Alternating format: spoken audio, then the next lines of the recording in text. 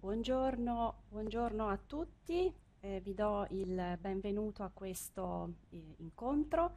Eh, si tratta del ehm, primo webinar di un ciclo eh, di webinar dedicato all'approfondimento sulle linee guida in materia di sportello unico per le attività produttive. Questo eh, ciclo di eh, webinar è mh, proposto dal Centro di Competenza Regionale a supporto delle attività del SURAP della Regione Campania. Eh, I prossimi due eh, incontri di questo ciclo sono previsti per il 10 giugno e il 24 giugno 2021. A partire dalla eh, fine della settimana prossima sarà possibile ehm, iscriversi al, eh, al secondo eh, appuntamento, eh, cioè quello del 10 giugno, sempre sul sito di Eventi PA. Io sono Onorina D'Agostini e vi ehm, darò un supporto nel corso di questo, eh, di questo incontro.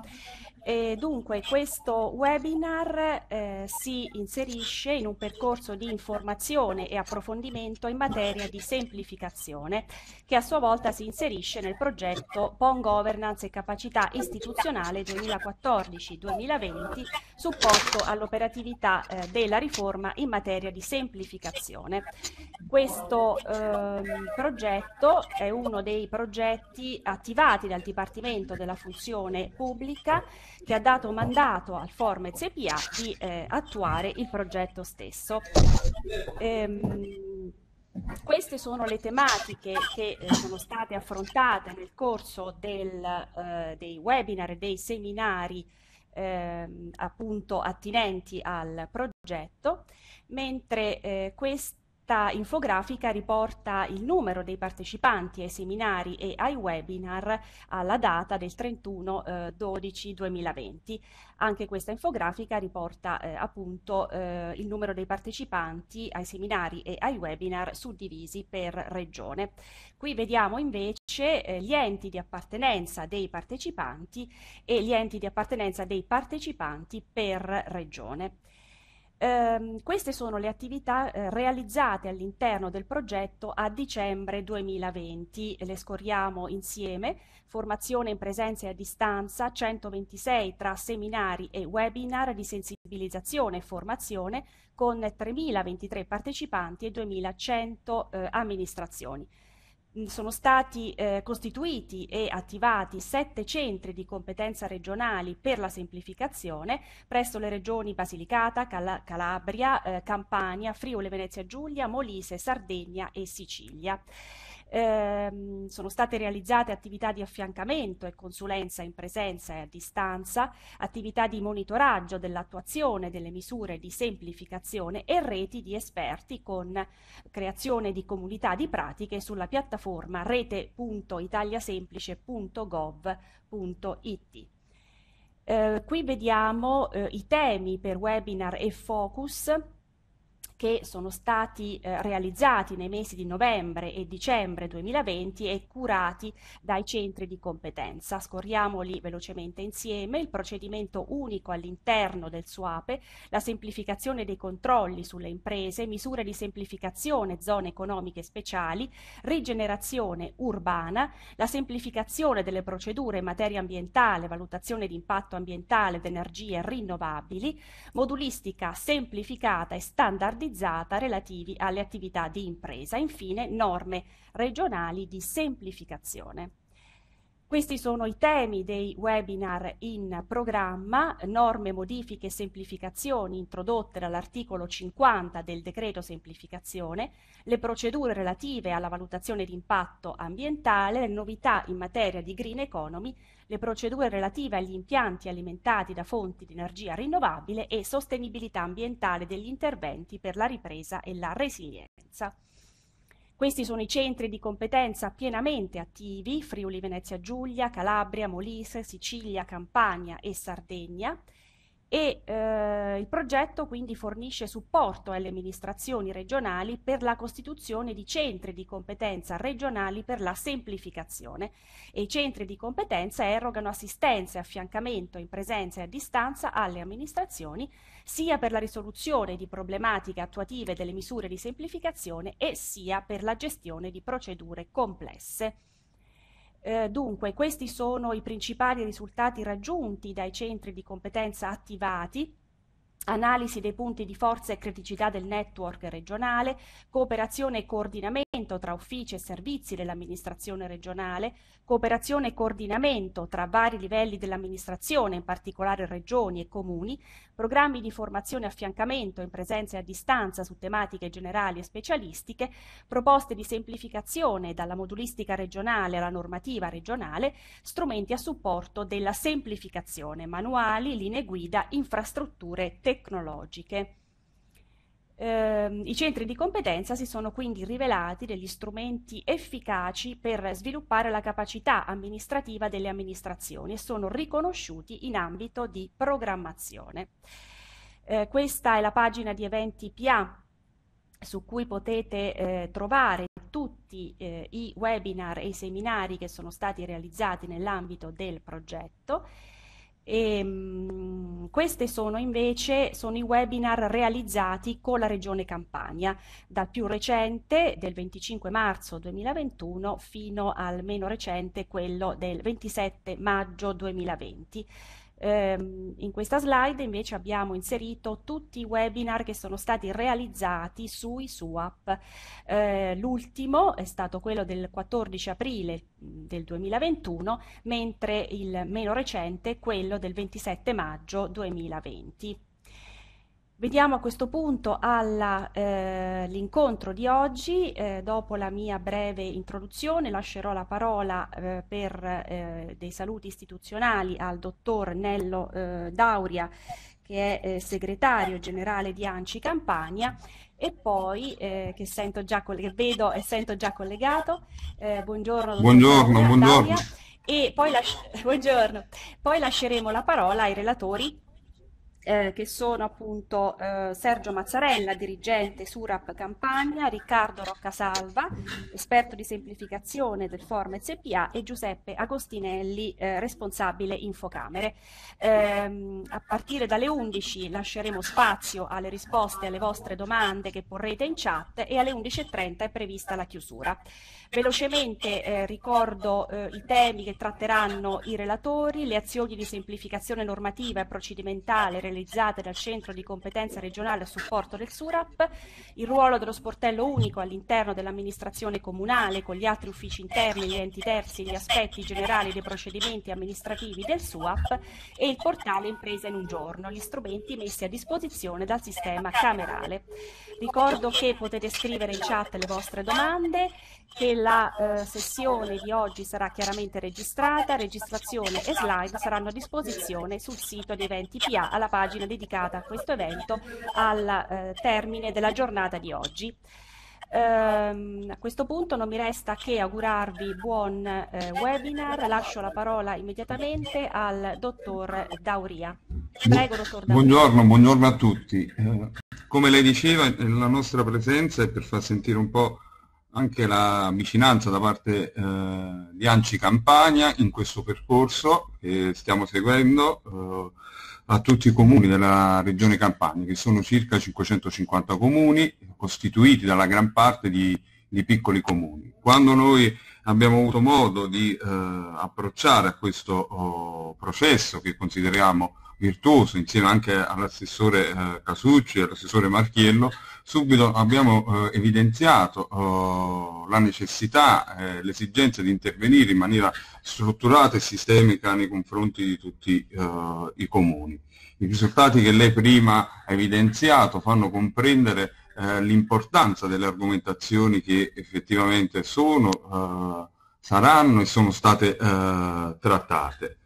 Um, noi come ANCI in realtà abbiamo cercato sin dall'inizio del nostro convincimento di dare il nostro supporto. Uh, ci sono tante cose da fare, eh, posso uh, portare la testimonianza di innumerevoli segnalazioni che ci vengono uh, fatte, soprattutto dai piccoli comuni a riguardo. Più volte ehm, anche nel, nei discorsi un po' ehm, singoli no? con i componenti eh, siamo, oh, abbiamo cercato di capire quelli che possono essere gli aspetti eh, da migliorare. Come sappiamo Um, I SUAP molto spesso, soprattutto nel, um, nei piccoli comuni, hanno una um, difficoltà uh, di essere strutturati in termini di know-how, di risorse del personale.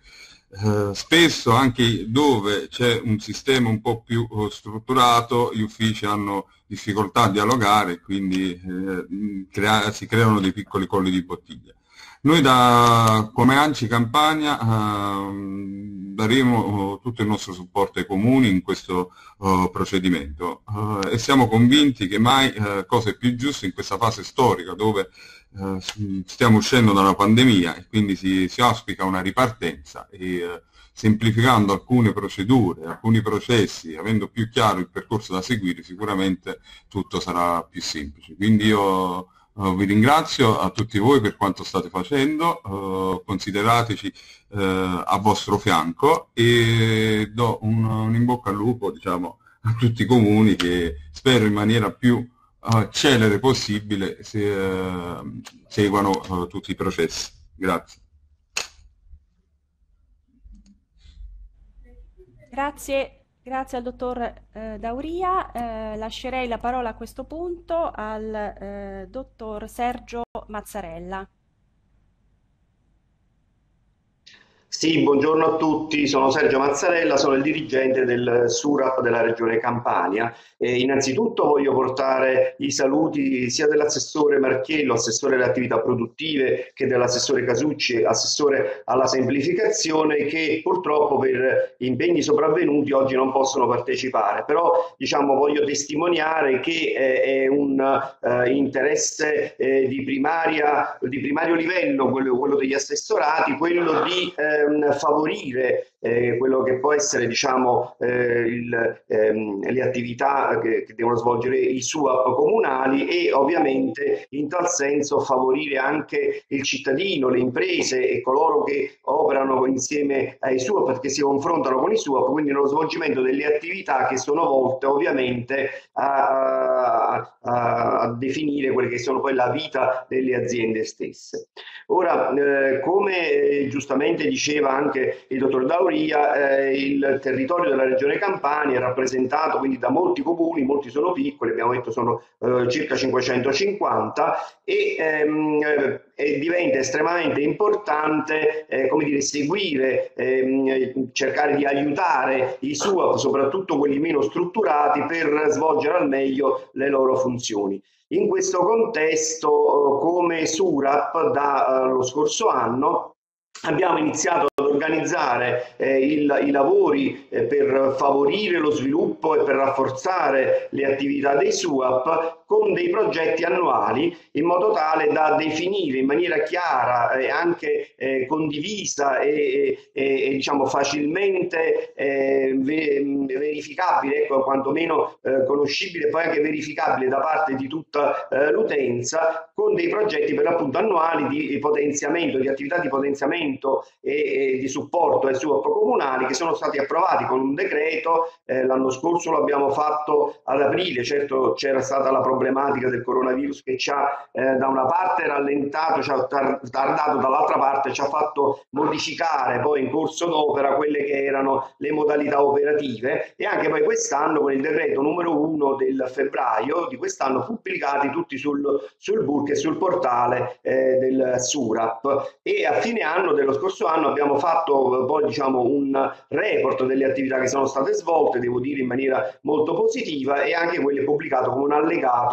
del decreto di quest'anno. Allora eh, sostanzialmente eh, le attività e le funzioni nel quale poi si inquadra anche l'incontro di oggi nascono dal monitoraggio costante che il SURAP fa delle eh, funzionalità delle, dei SUAP comunali, in particolare delle piattaforme che sono diciamo le modalità di accesso ai servizi eh, dei SUAP. Da uh, un monitoraggio eh, abbiamo rilevato, dal, dal monitoraggio del 2020, abbiamo rilevato che su circa 550 comuni, diciamo il 30% non offre un servizio adeguato ad uno standard minimo europeo. E in realtà questa non è una problematica solo della regione Campania, è una problematica nazionale, infatti l'Italia è in eh, sanzione comunitaria per questa eh, problematica e quindi lo sforzo è quello di cercare di migliorare, di sanare questo gap per permettere a tutti i SUAP di arrivare a un livello minimo di servizi che sia diciamo, accettabile e compatibile con, eh, con gli standard eh, nazionali ed europei. Eh, ma gran parte della problematica li abbiamo individuata eh, spesso con i comuni che diciamo, hanno da soli definito una piattaforma ehm, o anche con l'aiuto diciamo, di alcune eh, società, una piattaforma di accesso quindi a, ai servizi del SUAP. Eh, devo dire coloro che invece hanno aderito alla piattaforma Impresa in un giorno di Union Camere, ecco, ovviamente si trova uno strumento che è presidiato da un soggetto esperto, quale Infocamera, Uniocamera, e è costantemente aggiornato. Eh, da questo punto, da, dalle criticità che sono rilevate, stavano rilevate, noi come SURAP eh, come dire, comunichiamo formalmente ai comuni le criticità stesse, ma con uno spirito assolutamente non eh, sanzionatorio o, o, che vogliamo come dire, eh, essere eh, diciamo, repressivi o antipatici nei loro confronti. In realtà mh, mostriamo queste criticità dando anche la possibilità, offrendo, anzi invitando a, a, entrare in contatto con noi e con, nostri, con la squadra dei nostri partner che sono appunto costituiti da Union Camere eh, e Infocamere che è il braccio operativo, il Formez e diciamo anche ANCI, eh, come, come, ci stiamo, diciamo, come dire, stiamo iniziando a collaborare in maniera più fattiva anche con ANCI, proprio per cercare di trovare delle soluzioni percorribili eh, e anche a costo zero. Devo dire che la maggior parte delle problematiche che sono state rilevate appunto derivano innanzitutto dal fatto che eh, c'è una piattaforma inadeguata addirittura talvolta possiamo anche dire sostanzialmente inesistente. E, e che è un grosso problema perché ovviamente il legislatore nazionale con eh, il DPR 160 con la istituzione del suo ha voluto Uh, definire un unico sportello a cui si deve necessariamente rivolgere il cittadino, l'imprenditore per aprire un'attività, per fare delle modifiche e poi eventualmente per la cessazione dell'attività.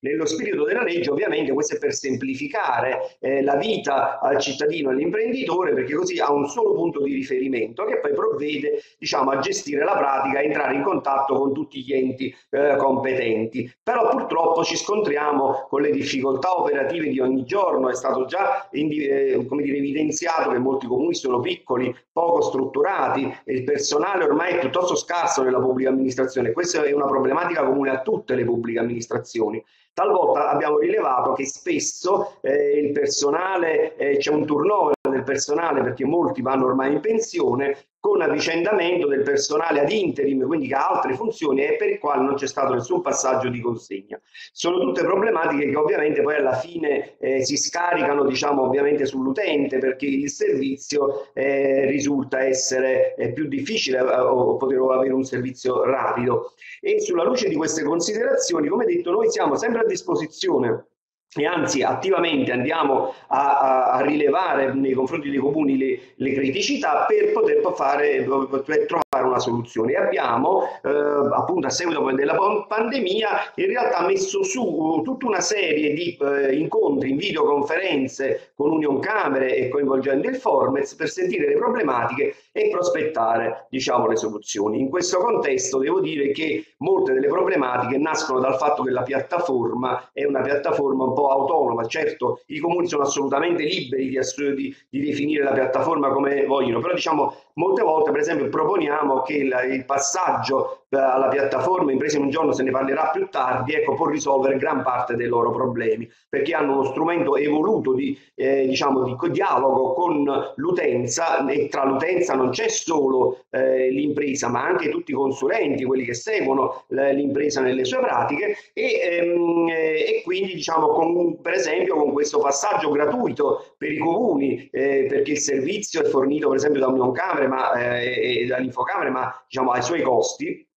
eh, questo servizio sicuramente permette un miglioramento del rapporto con l'utenza e anche della gestione delle pratiche. Eh, questo è fondamentale perché ovviamente uno dei, dei, dei fini che, che, ha come SURAP il mio ufficio è quello proprio di eh, favorire la crescita ma anche di standardizzare e di rendere uniformi le procedure per cui ci si rende conto che eh, se si arriva a, a delle procedure standard e uniformi chiunque si colleghi da qualsiasi parte d'Italia sul uh, sito del comune, sulla piattaforma del comune, si trova sostanzialmente la stessa modulistica, la stessa scheda da riempire con le stesse procedure. Proprio per favorire questo tipo di standardizzazione, ecco, eh, si è eh, definito nell'ambito del centro di competenza che è stato istituito eh, lo scorso anno eh, nell'ambito del progetto appunto con il Formez, ma anche eh, con il protocollo d'intesa con Neoncane, si è definito eh, insomma, innanzitutto l'idea di, di, di, mettere a punto delle linee guida per i SUAP campani,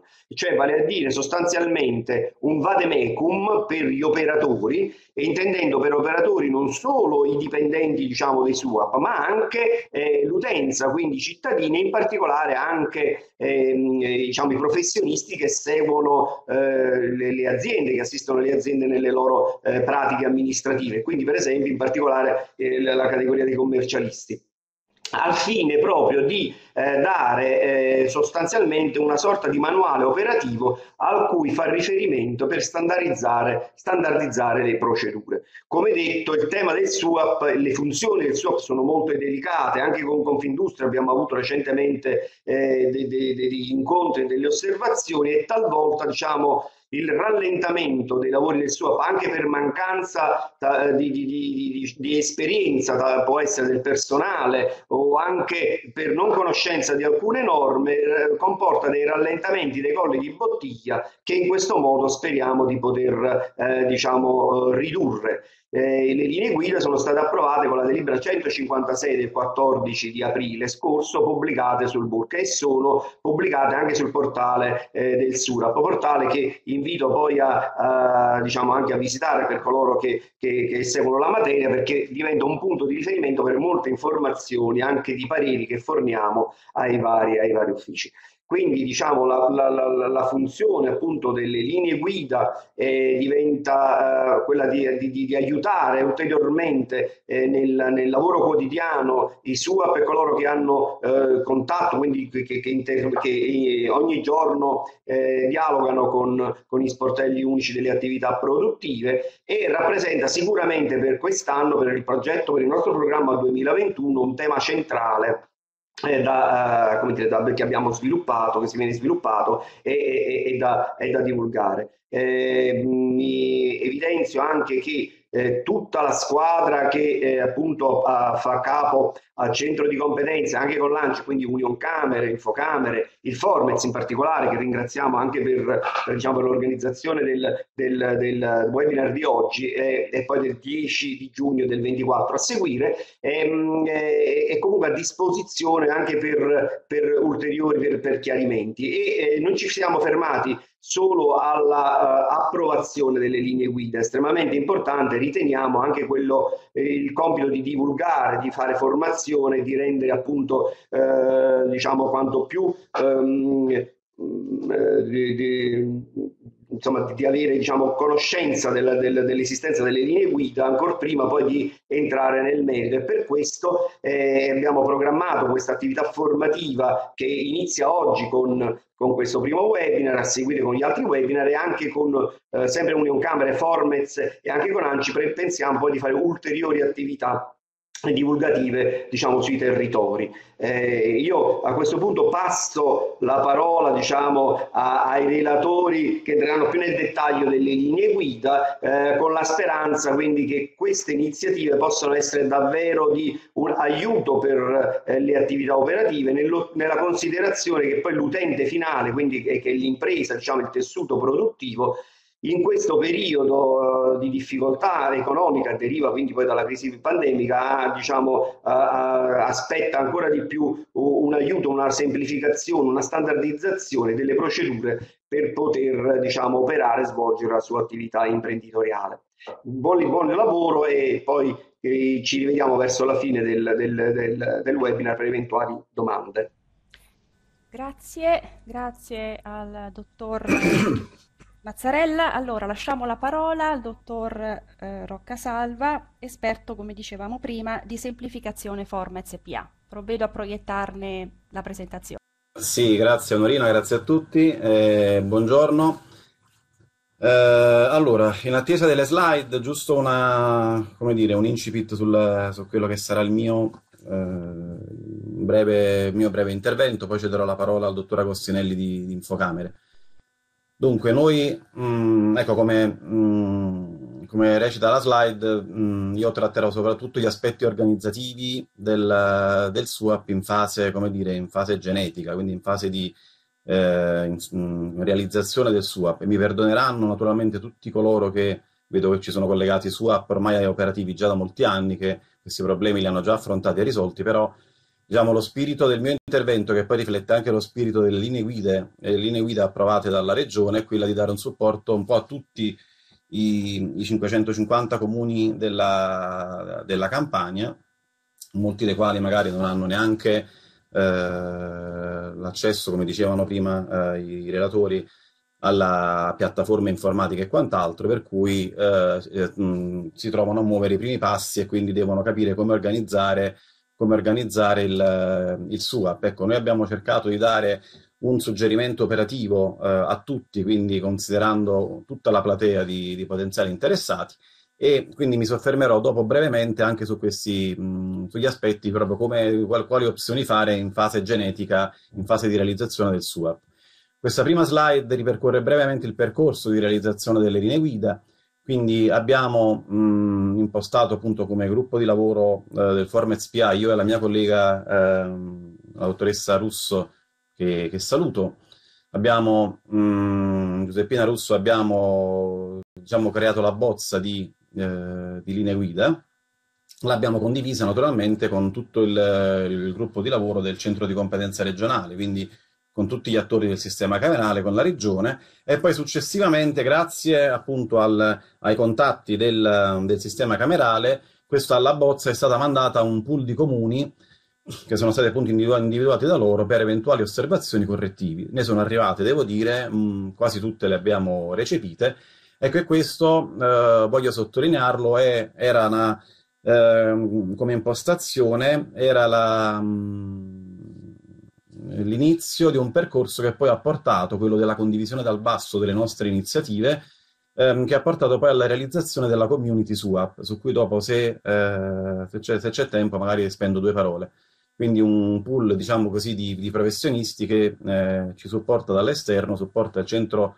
eh, di competenza regionale dall'esterno, che potrà, mh, potrà aiutarci perché noi abbiamo bisogno naturalmente di chi lavora quotidianamente le, le pratiche nel, nei SUAP, nei SUE e quant'altro. Quindi è una, è, una, è una, struttura assolutamente aperta e la community serve proprio ad alimentare questo, questo percorso e ad avere, ad avere, noi dei feedback dal, dal territorio. Dopodiché si è arrivati alla stesura del documento finale grazie anche al contributo di Anci Campania, come diceva il dottor Mazzarella, gli assessorati regionali competenti, e poi il 14 marzo è stata approvata, eh, le, le, linee guida sono state approvate con la delibera di giunta 100, 156. Allora, eh, brevissimamente in queste slide ripercorro eh, quello che abbiamo scritto nelle, nelle, linee guida. Naturalmente nulla, le linee guida hanno un valore compilativo e di riassunto della normativa vigente, quindi certamente non possono innovare il, assolutamente, quindi ripercorriamo quello che è, eh, quella che è la normativa eh, nazionale e regionale in materia. Ehm, ai sensi del DPR 160 sappiamo che il SUAP può essere mh, mm, gestito dai comuni in forma eh, singola eh, o associata, naturalmente come o in forma autonoma, quindi con l'accreditamento presso il Ministero dello, dello Sviluppo Economico, o in convenzione con la Camera di Commercio, oppure delegando alla Camera di Commercio gli aspetti eh, di gestione strumentale. Quindi, eh, ma in tutti i casi, eh, chi de, chi, a chi compete il, diciamo così, l'istruttore, il rilascio del provvedimento unico, o comunque della, eh, le, le, verifiche delle autocertificazioni presentate in caso di scia, quindi di procedimento automatizzato, è sempre naturalmente il comune, questo, eh, questo va ripetuto chiaramente. il, il, supporto appunto della piattaforma è un supporto di carattere strumentale, tecnologico e non, eh, non amministrativo in senso stretto. Allora, un altro aspetto che abbiamo, che abbiamo inteso eh, evidenziare e discutere nell'ambito delle linee guida regionali, senza avere la pretesa di avere dire, la, la, la, verità in tasca, è quella di, abbiamo, abbiamo, provato a fare un ragionamento sulla collocazione ottimale del SUAP all'interno dell'ente. Naturalmente, come, come, sa chiunque si è, si è approcciato a questo, a questo problema, eh, non, è un, non, è una risposta che si può dare in maniera, in maniera univoca, quindi dove e come allocare il SUAP all'interno della, dell'organigramma comunale dipende dall'autonomia organizzativa dell'ente, eh, direte voi che ci mancherebbe altro, e, eh, oppure dal, dagli accordi sottoscritti in caso di gestione del servizio in forma associata, quindi gli accordi tra enti ai sensi dell'articolo 15 della, della legge 241. Eh, più avanti possiamo dare giusto qualche suggerimento, abbiamo dato qualche suggerimento nelle linee guida, ma naturalmente il SUA è il comune che è sovrano nello stabilire come e dove eh, allocare il SUAP. Un aspetto importante, sempre dal punto di vista eh, funzionale e organizzativo, è che nelle amministrazioni pubbliche, quindi eh, alle altre amministrazioni pubbliche, gli enti terzi, né eh, gli altri uffici comunali, interessati al procedimento unico, quindi che può essere l'ufficio commercio, la polizia locale, l'ufficio tecnico, l'ufficio ambiente e quant'altro, possono trasmettere al richiedente atti autorizzatori, nulla osta, pareri o atti di assenso anche negativo, ma tutto deve essere, come sapete, come era previsto già dal vecchio DPR 447 del 98 e come ribadito naturalmente dal DPR 160 del 2010, eh, tenuto, mh, tutti sono tenuti a trasmettere al SUAP mh,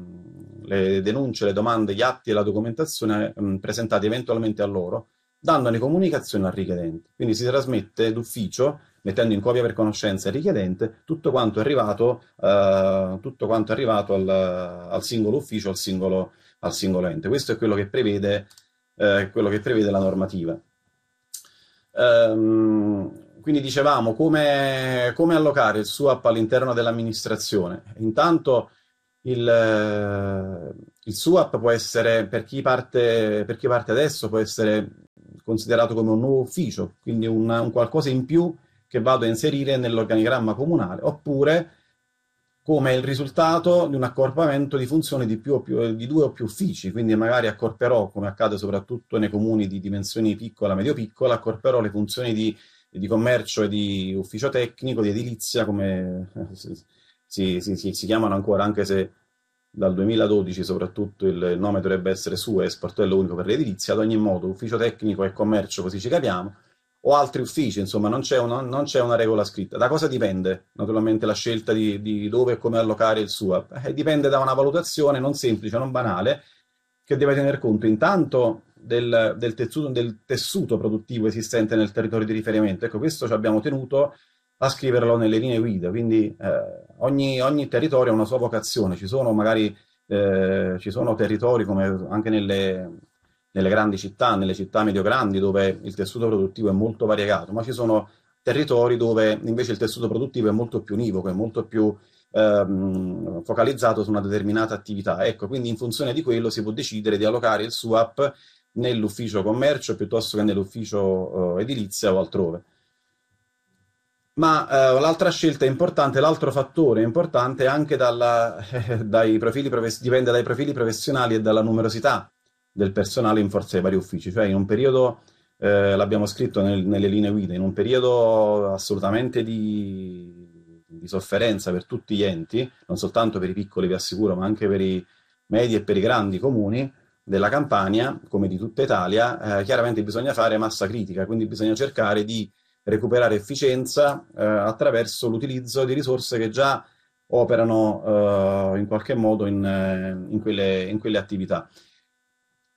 In tutto questo, tutto quello che abbiamo detto finora è in funzione comunque di un obiettivo, è quello di assicurare alle imprese comunque efficienza ed efficacia. E questo se valeva prima del 2020 vale ancora eh, di più adesso, che eh, ce lo diciamo sempre, eh, come dire, ci come si dice in gergo, ci sciacquiamo la bocca con questo discorso del stare sempre vicino alle imprese, perché le imprese stanno in sofferenza, molte che hanno chiuso per la pandemia, eccetera. Però è vero che proprio in una fase del genere il, i comuni in primis devono, eh, devono assicurare il più possibile considerando anche lo smart working e considerando tutte le difficoltà che oggi ci sono, perché sono innegabili, ma comunque eh, i turnover, quindi i pensionamenti e quant'altro, bisogna assicurare il più possibile alle imprese efficienza eh, ed efficacia. Ed anche per questo la, un utilizzo attento della piattaforma telematica è importante perché anche da remoto, anche a distanza, è possibile comunque assicurare servizi a valore aggiunto alla, alle imprese e ai loro intermediari. Questo è un aspetto molto, molto importante su cui poi dopo naturalmente il dottor Agostinelli, meglio di me, si, si soffermerà.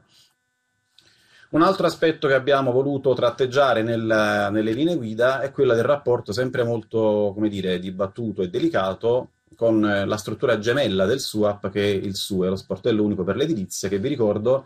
trova la sua fonte normativa già nel 2001 con l'articolo 5 del DPR 380, il testo unico dell'edilizia.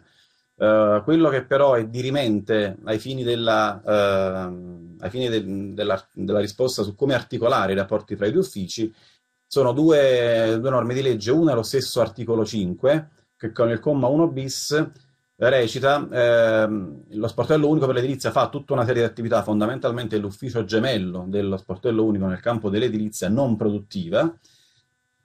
eh, perché dico non produttiva? Perché poi il comma 1 bis dell'articolo 5 dice resta comunque ferma la competenza dello sportello unico per le attività produttive. Quindi in tutti i campi di attività eh, produttive, eh, tutte, nel caso dell'edilizia produttiva, quindi delle, delle, mm, quando occorre acquisire un titolo abilitativo, che sia la, la CILA, che sia la SCIA, che sia il permesso di costruire, funzionale all'esercizio di un'attività produttiva, Comunque il, il, canale di interlocuzione con il, con il richiedente è, deve, deve, essere sempre il SUAP e non il SUA, e non il SUE. Infatti l'articolo 4,6 del DPR 160 dice salva diversa disposizione dei comuni sono attribuite al SUAP addirittura le competenze dello sportello unico per l'edilizia produttivo. Cosa vuol dire salva diversa disposizione dei comuni? Vuol dire che se il comune non dispone diversamente, in teoria, il SUAP gestisce direttamente le pratiche di edilizia produttiva, ma naturalmente questo può essere eh, evitato, quindi è, è, possibile tranquillamente una, separa una, separazione funzionale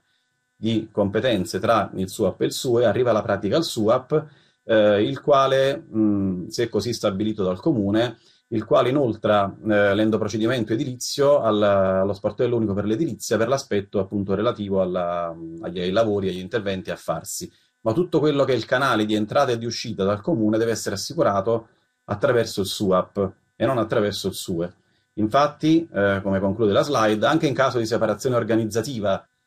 tra il SUAP e il SUE, come tipicamente accade in molti comuni, il titolo abilitativo edilizio richiesto per un impianto produttivo è sempre un endoprocedimento all'interno del procedimento unico che afferisce al SUAP. Quindi anche nel caso in cui diciamo ormai residuale nella casistica in cui occorra un permesso di costruire, perché oggi se andiamo a vedere le ultime riforme dal decreto legislativo 222 in giù, eh, insomma, è, sempre, è data sempre più mh, mm, dire, enfasi agli interventi che si possono realizzare o, o, o, in, o addirittura in edilizia libera o comunque con SCIA con CILA, ma comunque anche laddove occorre il permesso di costruire, questo dovrebbe essere eh, questo titolo abilitativo edilizio deve essere trasmesso dal SUE al SUAP e il SUAP non dovrebbe rilasciare, io dico non dovrebbe perché uso il condizionale perché eh, chiaramente poi la prassi a volte suggerisce eh, aggiustamenti e rimedi diversi, ma eh, a rigor di norma eh, il SUAP non dovrebbe limitarsi a trasmettere il, il cosiddetto permesso di costruire al, al privato richiedente, all'impresa, ma deve rilasciare un titolo unico dove oltre al permesso di costruire naturalmente dentro ci sono anche, immagino, altri, eh, altri aspetti. Comunque sia, il SUAP rilascia un titolo autorizzativo unico, in questo caso ai sensi dell'articolo 7 eh, del DPR 160. Quindi, eh, ricapitolando, il titolo abilitativo per gli impianti produttivi eh, di beni e servizi eventualmente rilasciato dal SUE deve operare sempre e comunque all'interno del procedimento unico. Il procedimento unico è quello, come vi dicevo, disegnato dall'articolo 7 eh, del DPR 160 del 2010. Al SUE eh, compete, qualora appunto il comune si sia avvalso della facoltà di suddividere no, le, le, le, funzioni di SUAP e SUE, al SUE compete soltanto la gestione dell'endoprocedimento edilizio, quindi la verifica del rispetto della normativa edilizia e urbanistica di riferimento, il controllo in merito relazione dei elaborati richiesti, eccetera. Quindi tutto quello che è proprio l'essenza dell'endoprocedimento dell'istruttore di carattere edilizio urbanistica. Anche se al suo è stata assegnata la competenza in materia di edilizia produttiva, eh, l'interessato dovrà comunque presentare l'istanza al SUAP tramite la piattaforma informatica o laddove il, il SUAP ne sia sprovvisto tramite eh, una, una, PEC. Ricordo appunto che eh, l'optimum sarebbe utilizzare una, una, piattaforma, ma non soltanto per, per l'imprenditore, ma anche per voi che lavorate all'interno dei comuni. Un conto è lavorare un numero indecifrato di PEC che arrivano, che, che partono, eccetera, un conto è avere un cruscotto che vi assicura appunto la, la piattaforma come camerale, così come eh, gli altri prodotti in commercio, un conto invece è quindi avere un, un cruscotto che, che, vi consente di gestire in maniera molto più efficiente e sinottica, diciamo, le, le pratiche che vi trovate a gestire. Quindi il SUAP, come dicevamo prima, in questo caso provvederà a inoltrare al SUE la pratica per gli adempimenti eh, di competenza. Un altro aspetto eh, importante eh, il, il, il, che abbiamo voluto individuare nella, nella, diciamo, nelle linee guida è la questione del responsabile del SUAP e responsabile del procedimento. Allora, ehm, il SUAP, il, il, naturalmente, il, come prevede anche l'articolo 4,4 del DPR 160, il comune deve individuare sempre e comunque il responsabile del SUAP. Naturalmente, noi lo diciamo sempre, non, chi deve essere messo a capo degli uffici lo stabiliscono non né il Formez né il, eh, il centro di competenza regionale né le linee guida, ma lo stabiliscono le norme, il, il decreto 165 del 2001, i contratti collettivi nazionali di lavoro e soprattutto quelle che sono le, eh, funzioni, le, dire, le, gli organigrammi all'interno, all'interno, del comune. Ad ogni modo deve essere il responsabile SUAP un, un soggetto che appartiene ai livelli apicali della tecnostruttura dell'ente, quindi sicuramente una, una categoria D o un dirigente, laddove naturalmente queste figure siano presenti. Finché questi soggetti non vengono individuati, ricordiamo che il ruolo di responsabile del SUAP è ricoperto dal segretario comunale. Questo perché? Perché la norma dice io devo comunque partire dal presupposto di assicurare all'imprenditore un interlocutore certo e univoco. Se non è stato fatto, è il responsabile SUAP. A sua volta, il responsabile SUAP potrà nominare eh, uno o più responsabili di procedimento, ma questo lo vediamo nella prossima slide. Qui eh, ci soffermiamo invece sulla, sul discorso responsabile SUAP e responsabile SUE. Naturalmente ci sono comuni che hanno eh, fatto la scelta di individuare un unico responsabile, altri invece, la maggior parte, hanno individuato due responsabili, magari il responsabile SUAP con profilo più tipicamente amministrativo e quello SUE profilo più tipicamente tecnico, ma anche qui dipende da, naturalmente dalla, dall'organizzazione interna che si è data il singolo ente e soprattutto dal rapporto che, come abbiamo visto prima, si è scelto di strutturare tra il SUAP e il SUE. Naturalmente eh, resta fermo quanto abbiamo detto sopra, sul fatto che comunque sia il rapporto tra SUAP e SUE, tutto quello che fa il SUE nell'ambito delle, dell'edilizia produttiva deve operare all'interno del procedimento unico gestito, gestito dal SUAP. Eh, ho quasi concluso. Quindi dicevamo, il responsabile del SUAP è responsabile del procedimento. Come dice la legge, l'articolo 5 della legge 241, il responsabile SUAP, sempre per lo stesso principio per cui tutto ciò è fatto nell'interesse del, del, privato, che deve sempre sapere chi è il, la sua controparte eh, comunale in questo caso, finché non è stata fatta una, un'assegnazione di funzioni, di, di, responsabilità di procedimento ai, ai singoli addetti al SUAP, tutte le pratiche del SUAP si considerano in capo direttamente al responsabile del SUAP stesso. Quindi questo è una cosa assolutamente da tenere in considerazione, quindi eh, deve essere fatto in maniera formale naturalmente, lo prevede la, la legge eh, 241, quindi finché non è stata fatta una, mh, mm, non è stata assegnata la responsabilità di singoli procedimenti o di gruppi di procedimenti ad altri dipendenti, può essere fatto in maniera eh, generale o speciale, ma comunque deve essere fatto e deve essere reso, reso pubblico, anche principalmente attraverso il canale web, attraverso la piattaforma, attraverso il sito, Uh, um, il responsabile del SUAP è, il, il, è, è, quello che risponde di tutti i procedimenti. Ecco perché è importantissimo nella ricevuta, della, della, quando presento una pratica al SUAP, nella ricevuta la prima informazione che devo avere è qual è il uh, nominativo del responsabile del procedimento più che del responsabile SUAP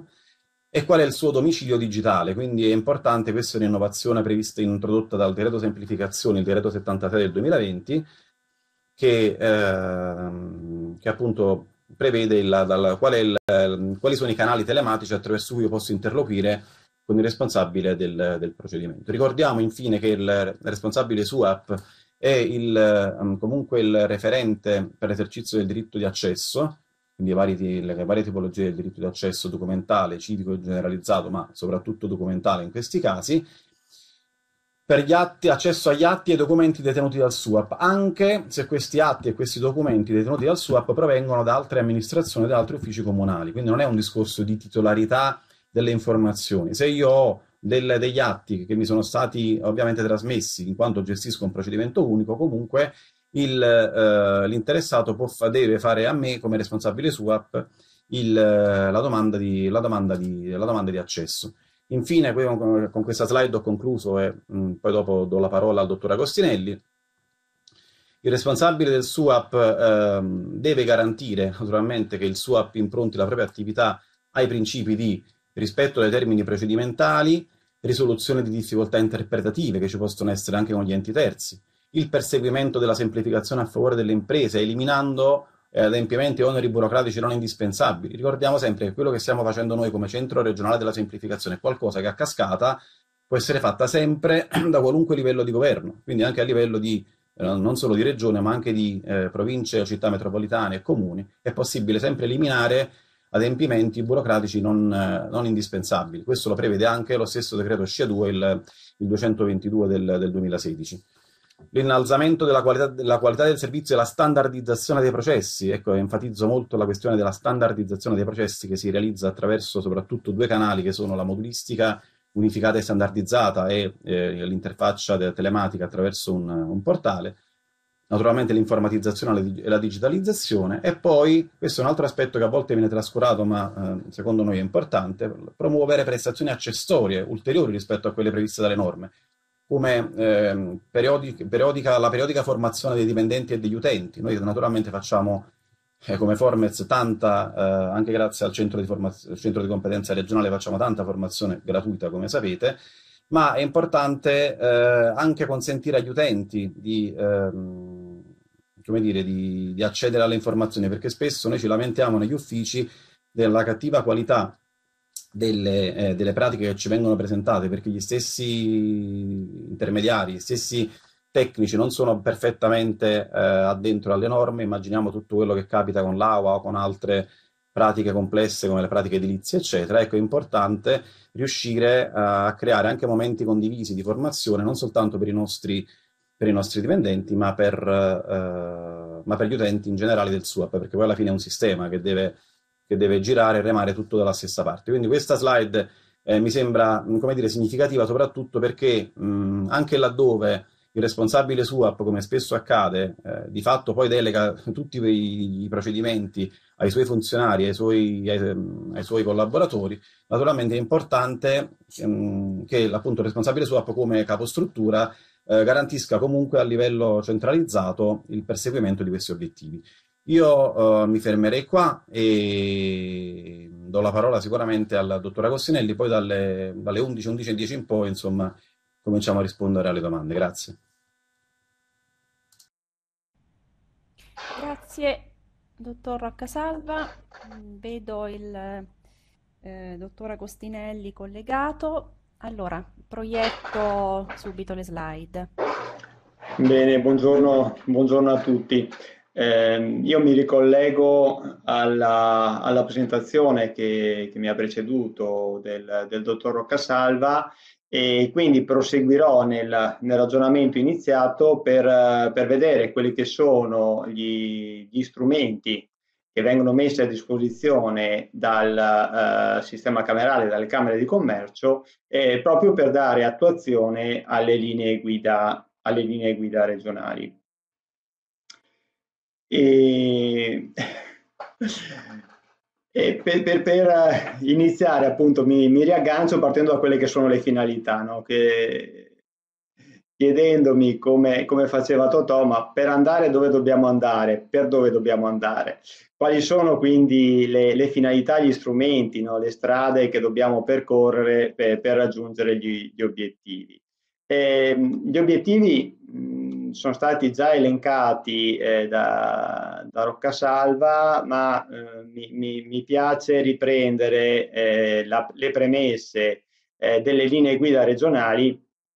perché secondo me danno un'idea, uno spaccato no? molto preciso eh, di quali sono eh, gli obiettivi che vogliamo perseguire. Eh, prima di tutto rendere eh, concretamente possibile l'apertura di una nuova impresa in tempi certi, quindi un discorso di certezza dei tempi. Assicurare procedure e scadenze definite per tutte le iniziative di carattere produttivo, quindi quello che già diceva Rocca Salva sulla standardizzazione, operare in un quadro normativo certo e semplificato, garantire massima trasparenza, limitare e ridurre i tempi burocratici e eliminare ogni adempimento non indispensabile. Ecco, eh, ovviamente sono tutte iniziative volte a, a semplificare, a migliorare il servizio verso le imprese, ma anche eh, per migliorare il, il, lavoro dei dipendenti pubblici, per migliorare il lavoro dei funzionari comunali. Eh, lavorare in un quadro normativo certo e semplificato beh, eh, semplifica la vita anche per chi ci deve lavorare, che chiaramente lavora meglio se sa bene esattamente cosa deve fare e come deve comportarsi. Eh, eliminare gli adempimenti non indispensabili alleggerisce la burocrazia nei confronti delle imprese e dei cittadini ma chiaramente sgrava anche gli stessi funzionari pubblici, sgrava anche gli stessi comuni dalla, eh, da oneri e da attività che non, sono, che non sono efficaci. Da questo punto di vista prendo, prendo un attimo spunto da una recente ricerca eh, fatta dalla CGA di Mestre che quantifica i costi della burocrazia ai comuni in circa 16 miliardi di euro all'anno, quindi stiamo parlando di cifre significative. Ma andando a vedere più nel dettaglio, eh, circa un terzo, quindi stiamo mh, mm, parlando di una cifra eh, consistente, stiamo parlando di, di 6 miliardi di euro all'anno, sono riconducibili a oneri burocratici spesso superflui, cioè stiamo parlando appunto no, di quelle eh, attività, di quegli adempimenti non indispensabili che possono essere eliminati. E quindi da questo punto di vista le linee guida e le norme di semplificazione che ci sono state a livello nazionale poi anche a livello eh, regionale ci danno la possibilità di poter togliere, eliminare, eh, semplificare tutta una serie di adempimenti inutili o addirittura li eh, definiscono anche controproducenti che eh, chiaramente incidono negativamente sull'efficacia dell'amministrazione e frenano la ripartenza del paese. Siccome noi vogliamo che il paese riparta, eh, ovviamente cerchiamo di togliere tutto quello che ingombra, tutto quello che non è necessario e che ostacola il, il corretto funzionamento della macchina amministrativa pubblica. E dal punto di vista del sistema camerale, mh, lo dicevamo già nell'incontro precedente, mettiamo a disposizione tutta una serie di piattaforme digitali nazionali per le imprese, in particolare eh, parliamo del SUAP, parliamo del cassetto digitale dell'imprenditore, parliamo del sito Ateco, eh, che sono tutti strumenti che vengono messi a disposizione proprio per semplificare, per facilitare e per dare strumenti eh, da una parte alle imprese e, e, al, e, ai professionisti, dall'altra anche agli stessi funzionari pubblici per poter lavorare nel migliore dei modi. Andiamo a vederli più nel dettaglio. Cominciamo proprio dal portale Imprese in un giorno. Eh, come già diceva Riccardo Loccasalva, ogni eh, comune accredita presso il Ministero dello Sviluppo Economico il proprio SUAP, decidendo quale tipologia organizzativa di SUAP vuole utilizzare, se quindi eh, gestire un SUAP in maniera autonoma oppure in convenzione o in delega eh, con le Camere di Commercio. Bene, eh, da questo punto di vista queste informazioni vengono rese disponibili, vengono pubblicate nel portale Imprese in un giorno, in modo tale che ciascun utente, ciascuna impresa professionista sul territorio italiano, accedendo a imprese in un giorno che costituisce il punto unico di contatto a livello nazionale, possa sapere qual è il suo di riferimento per un certo territorio, per un certo comune. Da questo punto di vista, quindi, è importante che ciascun comune mantenga aggiornate le informazioni che sono state dichiarate presso il Ministero. Quindi da questo punto di vista il mio eh, suggerimento, la mia richiesta, andate eh, a, accedete al portale Imprese in un giorno, andate a selezionare e ricercare il vostro comune e andate a verificare se i riferimenti e recapiti, il responsabile del SUAP, che è importantissimo, come già citava Roccasalva, eh, sono effettivamente eh, correttamente dichiarati al Ministero e sono correttamente aggiornati. Sappiamo che c'è un turnover, quindi potrebbe essere successo no, che il responsabile del vostro SUAP magari è cambiato e quindi verificate che sia stato effettivamente aggiornato e comunicato correttamente al Ministero, così come tutte le altre informazioni che sono state eh, comunicate. Eh, verificate anche se la piattaforma che avete accreditato presso il Ministero sia effettivamente funzionante ed efficiente ed aggiornata. Ecco perché chiaramente ciascun comune deve garantire che la piattaforma telematica che ha adottato sia eh, in ordine, sia efficace e dia un buon servizio ai propri, ai propri utenti. Chiaramente per tutti quei comuni che hanno aderito a, alla piattaforma camerale siamo noi come sistema camerale, come infocamere, che garantiamo il eh, corretto funzionamento e l'efficienza della piattaforma e l'aggiornamento costante della piattaforma informatica. Andiamo quindi a vedere più nel dettaglio quelli che sono oh, gli strumenti operativi che vengono messi a disposizione nell'ambito del portale appunto per quei comuni che hanno aderito alla piattaforma eh, Impreso in un giorno, quindi hanno aderito alla eh, piattaforma messa a disposizione dal sistema camerale. Partiamo dai servizi di front office, quindi da quei servizi e quegli strumenti che vengono messi a disposizione di imprese, professionisti, associazioni di categoria. sono tutta una serie di strumenti che eh, il professionista, l'impresa trova, disp trova disponibili nell'ambito del, del, portale e eh, che gli consentono di informarsi, gli consentono di compilare eh, le pratiche in modalità telematica, gli consentono anche di seguire quello che è l'iter eh, della propria pratica fino ad arrivare alla chiusura.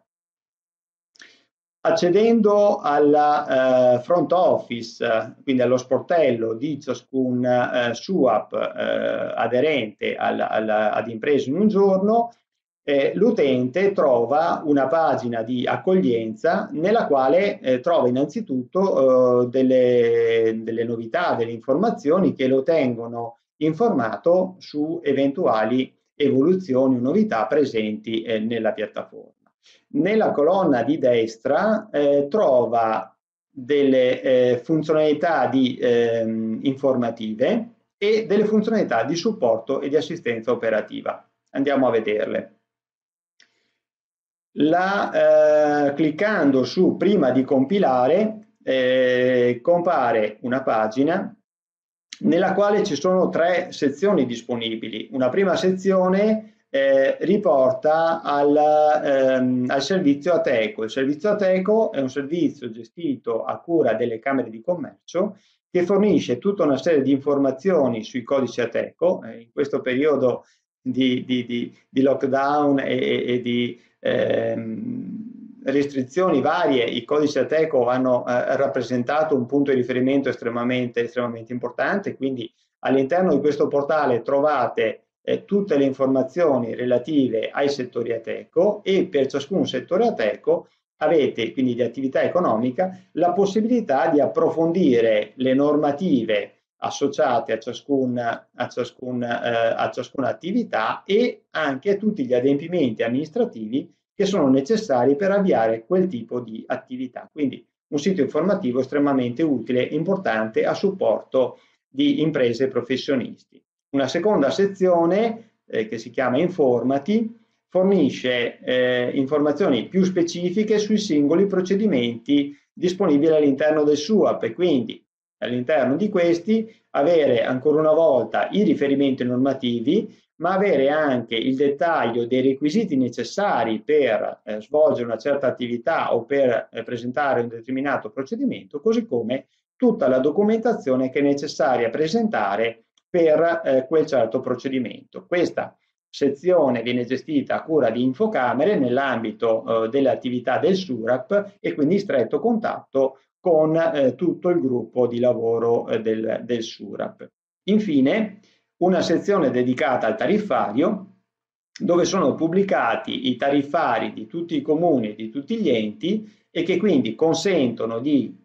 conoscere eh, in, in, anticipo quelli che saranno i costi di presentazione di una pratica a seconda dei tipi di procedimento. Ecco, da questo punto di vista questa sezione di tariffario noi la manteniamo eh, aggiornata pubblicando i tariffari che ci vengono comunicati dai singoli comuni o dagli enti competenti quindi eh,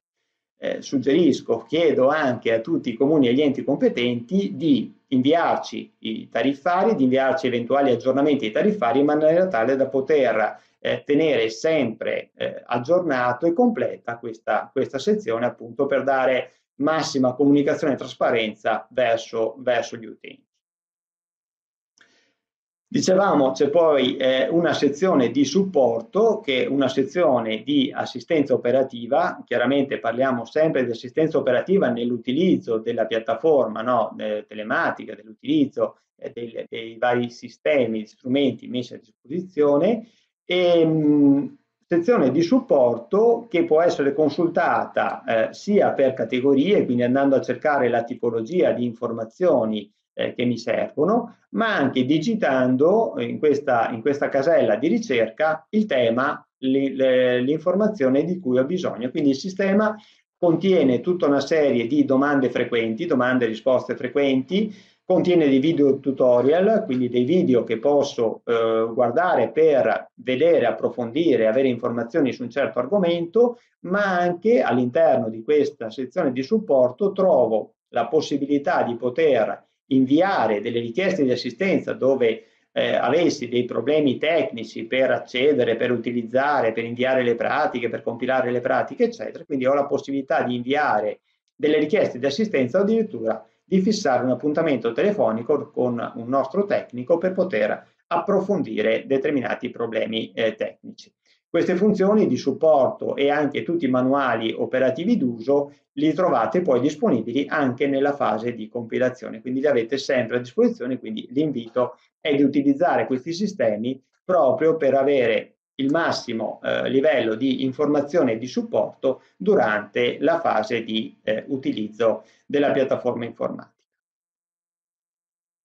Arriviamo poi alla fase diciamo, operativa, il compila pratica. Quando eh, schiaccio il tasto compila pratica inizio con eh, tutta la fase di compilazione eh, di, una, di, una, nuova pratica. La compilazione di una pratica parte dall'identificazione, eh, dalla scelta del settore di attività nell'ambito del quale io mi voglio eh, collocare e scelta del settore che avviene selezionando nella lista del, dei settori che mi vengono presentati eh, secondo quella che è la codifica ATECO, eh, selezionando il, il, settore di mio interesse. Per esempio, se io eh, ho intenzione di lavorare eh, in un panificio, eh, andrò a selezionare eh, l'industria artigianato, poi alimentare e poi panificio, quindi scendendo via via nei vari dettagli. Ma posso anche utilizzare la funzione di ricerca digitando una parola o digitando anche una parte della parola, per esempio panif, e schiacciando il tasto ricerca mi trova direttamente la, la parola, il settore panificio. Eh, nel passo successivo mi verrà richiesto nell'ambito dell'attività di panificio qual è l'adempimento che voglio effettuare, quindi potrò scegliere se eh, intendo aprire un panificio o subentrare nell'esercizio dell'attività di un panificio già eh, operativo, se voglio trasferire la sede, se voglio cessare l'attività e così via. Naturalmente avendo la possibilità di selezionare qualsiasi tipologia di procedimento. Potrei anche voler effettuare una ristrutturazione edilizia del, del mio panificio. No? Anche in questo caso troverò gli adempimenti necessari per poterlo, per poterlo fare e per poterlo richiedere.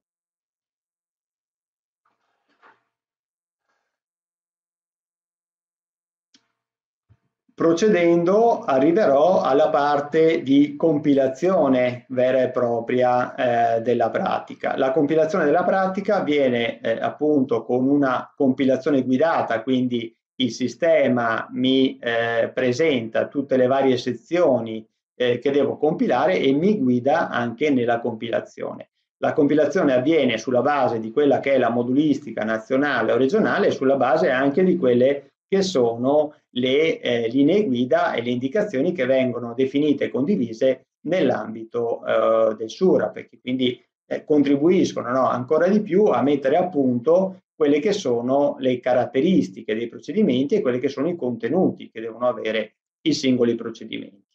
Eh, la compilazione eh, guidata eh, mi, eh, sostanzialmente mi eh, fornisce delle indicazioni, quindi mi dà un, un check verde laddove ho una sezione che è stata compilata in maniera corretta e completa, mi dà una X rossa per segnalarmi che quella sezione non è stata compilata correttamente, mancano dei dati o ci sono dei dati che non sono coerenti rispetto a quello che eh, la modulistica prevede e infine un quadratino bianco laddove invece ci sia una sezione vuota che aspetta di essere, di essere compilata. Quindi in questo modo eh, chi compila è guidato e, eh, nella, nella, compilazione e viene già fatto un, un primo screening, una prima verifica formale circa la completezza della pratica. La pratica potrà essere trasmessa solo e soltanto se è compilata in maniera corretta e completa in ogni sua parte. Ci sono poi ulteriori eh, sistemi di supporto, eh, per esempio eh, la possibilità per i comuni di caricare all'interno del sistema il proprio viario e in questo modo l'utente quando va a compilare l'indirizzo, l'ubicazione del proprio impianto produttivo, del proprio negozio, del proprio ristorante, della propria attività, avrà la possibilità di selezionare all'interno eh, del, del diario comunale, quindi scegliendo le vie, quindi essendo ulteriormente guidato nella compilazione. Ehm, ultima cosa, tutta questa compilazione ha poi come eh, effetto la produzione di una pratica telematica vera e propria, quindi eh, corredata di dati informatici che poi possono essere utilizzati per chi riceve la pratica per alimentare i propri sistemi in maniera anche automatica, quindi questo è un ulteriore effetto, no? un ulteriore valore aggiunto della compilazione telematica attraverso il portale. Come ehm, si diceva, oltre che la compilazione e l'invio telematico della pratica, eh, l'utente e quindi sia eh, il professionista ma anche l'imprenditore che è titolare di quella pratica hanno la possibilità poi di seguire eh, l'iter di quella pratica e se vogliamo questo, eh, questa sezione, questo sito rappresenta il domicilio digitale, quindi quello che accennava prima Riccardo Roccasalva, cioè l'utente ha diritto di conoscere qual è il, il eh,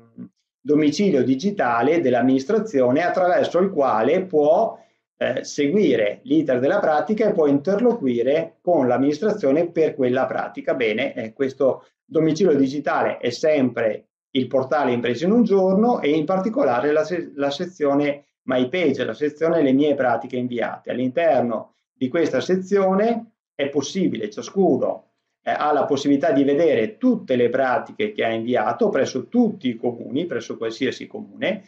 se eh, si tratta di un, eh, di un, intermediario, di un professionista che invia eh, decine, centinaia, migliaia di pratiche, c'è la possibilità di effettuare eh, dei filtri di ricerca, quindi per cercare le, le pratiche, la pratica di proprio, di proprio interesse e attraverso questa funzione c'è la possibilità di poter consultare in ogni momento la pratica, di vedere il suo stato avanzamento ed eventualmente, laddove necessario, laddove richiesto, inviare integrazioni documentali, inviare documentazione ulteriore, conformazioni e quant'altro che venisse richiesto. Ricordo che gli imprenditori hanno a loro disposizione un ulteriore strumento che è costituito dal cassetto digitale dell'imprenditore impresa.italia.it attraverso il quale hanno la possibilità di prendere visione di tutte le informazioni eh, che lo riguardano compreso anche eh, le pratiche SUA per lo stato avanzamento delle pratiche SUA. Quindi questo per dare massima trasparenza di tutto ciò che riguarda ehm, le pratiche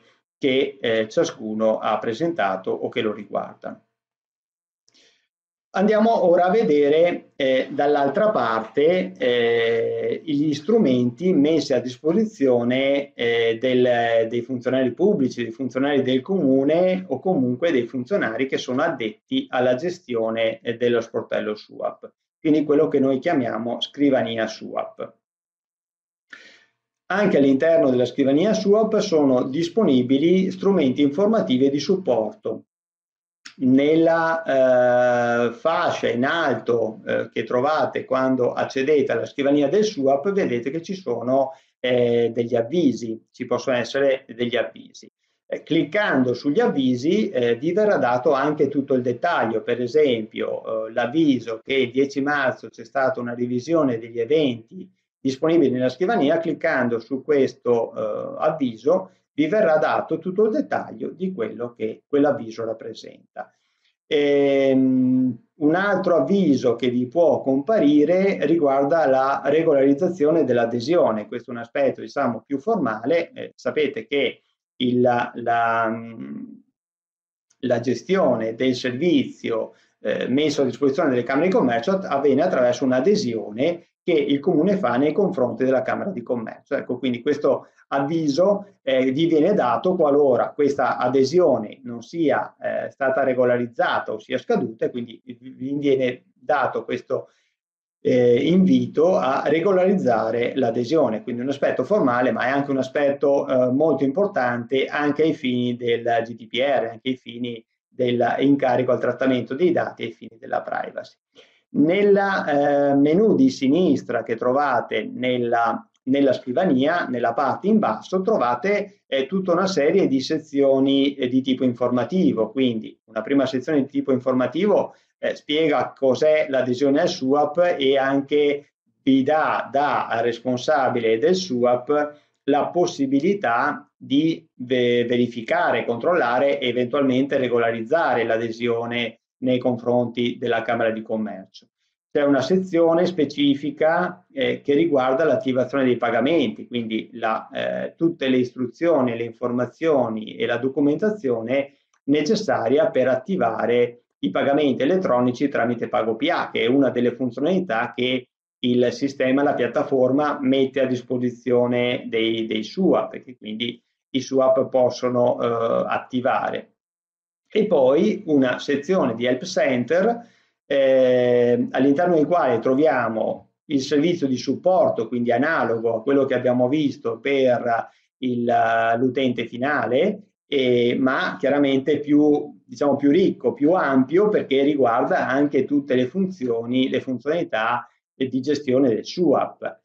una sezione, eh, un corso e learning gratuito che mettiamo a disposizione dei funzionari del SUAP e che consente di poter aggiornarsi e di poter avere tutte le informazioni operative di come può essere fatta la gestione del SUAP. Ecco, questa è una ehm, funzione estremamente importante, soprattutto laddove ci sia stato un turnover, un cambio delle persone che si occupano di SUAP e che quindi chiaramente le persone nuove arrivate abbiano bisogno eh, di avere una formazione. Chiaramente qui parliamo soprattutto dal punto di vista operativo eh, su come funziona la scrivania, su come si gestisce il SUAP. Quindi anche qui un invito a usufruire di questo importante servizio, di questo corso e-learning perché può essere veramente molto utile e opportuno per darvi tutti gli strumenti e tutto il supporto necessario per utilizzare al meglio le funzionalità che vi vengono messe a disposizione. Naturalmente eh, c'è a disposizione anche il manuale, il manuale d'uso eh, della scrivania, lo teniamo sempre aggiornato, quindi l'invito è a eh, scaricarlo e utilizzarlo quando abbiate dei dubbi su come utilizzare determinate funzioni della scrivania. Così come anche eh, alla fine avete un elenco di tutte le versioni, quindi un riassunto di tutte le novità e di tutto quello che viene messo a disposizione della, ehm, eh, che è stato messo via via a disposizione all'interno della scrivania sua. Eh, tutte queste funzionalità vengono messe a disposizione della Camera di Commercio attraverso l'adesione al, al servizio, quindi eh, è un eh, servizio che viene messo a disposizione dalla Camera di Commercio, quindi prendete contatti con la Camera di Commercio eh, di vostra competenza, del vostro territorio, se siete interessati ad aderire a questo tipo di servizio che viene messo appunto a disposizione dalla Camera di Commercio. Non è un servizio che viene venduto, ma messo a disposizione dalla Camera di Commercio. E, ehm, già prima ehm, Riccardo Rocasalva ha messo l'accento su quello che è il ruolo eh, fondamentale del SUAP come punto di snodo, quindi come punto di colloquio e su come il SUAP deve colloquiare con tutti i vari enti competenti. Quindi una delle funzionalità fondamentali che trovate a disposizione all'interno della scrivania proprio, eh, sono proprio le funzioni che consentono il colloquio con i vari enti terzi, con i vari enti competenti. Colloquio che deve avvenire per legge in modalità esclusivamente telematica, colloquio che la scrivania gestisce eh, in maniera anche differenziata, in maniera personalizzata a seconda della tipologia di ente competente. Quindi la scrivania è in grado di colloquiare con tutti i vari enti competenti coinvolti in un certo procedimento e il colloquio viene fatto in maniera specifica, personalizzata, a seconda di chi è l'interlocutore. Su questo faccio un attimo un approfondimento in particolare eh, per quanto riguarda i vigili del fuoco, perché eh, rappresenta anche un esempio eh, molto interessante. Eh, attualmente il colloquio con i vigili del fuoco avviene tramite PEC, perché questa è la modalità di colloquio che i vigili del fuoco hanno definito e hanno deciso di utilizzare ad oggi.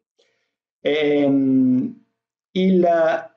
il Comando Nazionale dei Vigili del Fuoco, il Ministero dell'Interno, da tempo sta portando avanti un progetto di rinnovamento strutturale di quelle che sono le piattaforme informatiche in uso presso i comandi Vigili del Fuoco e nell'arco del prossimo mese di giugno eh, metterà in linea eh, una nuova piattaforma che si chiama Prince e che è la piattaforma di prevenzione incendi centralizzata che il Ministero degli Interni metterà a disposizione di tutti i comandi dei Vigili del Fuoco. Da questo punto di vista, eh, grazie ad una convenzione che è stata sottoscritta a livello nazionale tra l'Unione Camere nazionale e il Comando Nazionale dei Vigili del Fuoco, Ministero dell'Interno, è stata sviluppata una interoperabilità tra la piattaforma del SUAP e la nuova piattaforma del, um, dei Vigili del Fuoco che consentirà l'interoperabilità diretta tra il SUAP e la piattaforma, la nuova piattaforma dei Vigili del Fuoco. Questa interoperabilità non transiterà più tramite PEC, transiterà attraverso canali di cooperazione applicativa, ma da questo punto di vista noi siamo già compatibili, siamo già attrezzati e siamo pronti per poter colloquiare con la nuova piattaforma dei vigili del fuoco. Quindi tutto questo eh, verrà messo direttamente, automaticamente a disposizione di tutti i comuni che hanno aderito alla nostra piattaforma. Chiaramente i comuni che invece hanno proprie piattaforme dovranno provvedere autonomamente a mettere in piedi il dialogo, il colloquio adeguato con i vigili del fuoco. Ecco, quindi questo era giusto per fare una, un approfondimento su una tematica specifica, ma anche per darvi un'idea di cosa significa garantire il colloquio con i vari, con i vari enti terzi. Ehm, un, un, punto importante da, da, chiarire è il fatto che il, la piattaforma identifica in maniera automatica quelli che sono gli enti competenti, proprio sulla base della definizione del procedimento. Quindi quando andiamo a definire un procedimento anche in collaborazione con, con il SURAP, eh, vengono definite le caratteristiche del procedimento e tra queste vengono anche definiti quelli che sono gli enti competenti per il procedimento. Quindi il sistema sa già quali sono gli enti competenti e sa già quali sono gli enti a cui quel procedimento dovrà essere inoltrato, dovrà essere comunicato. Ehm, se andate a vedere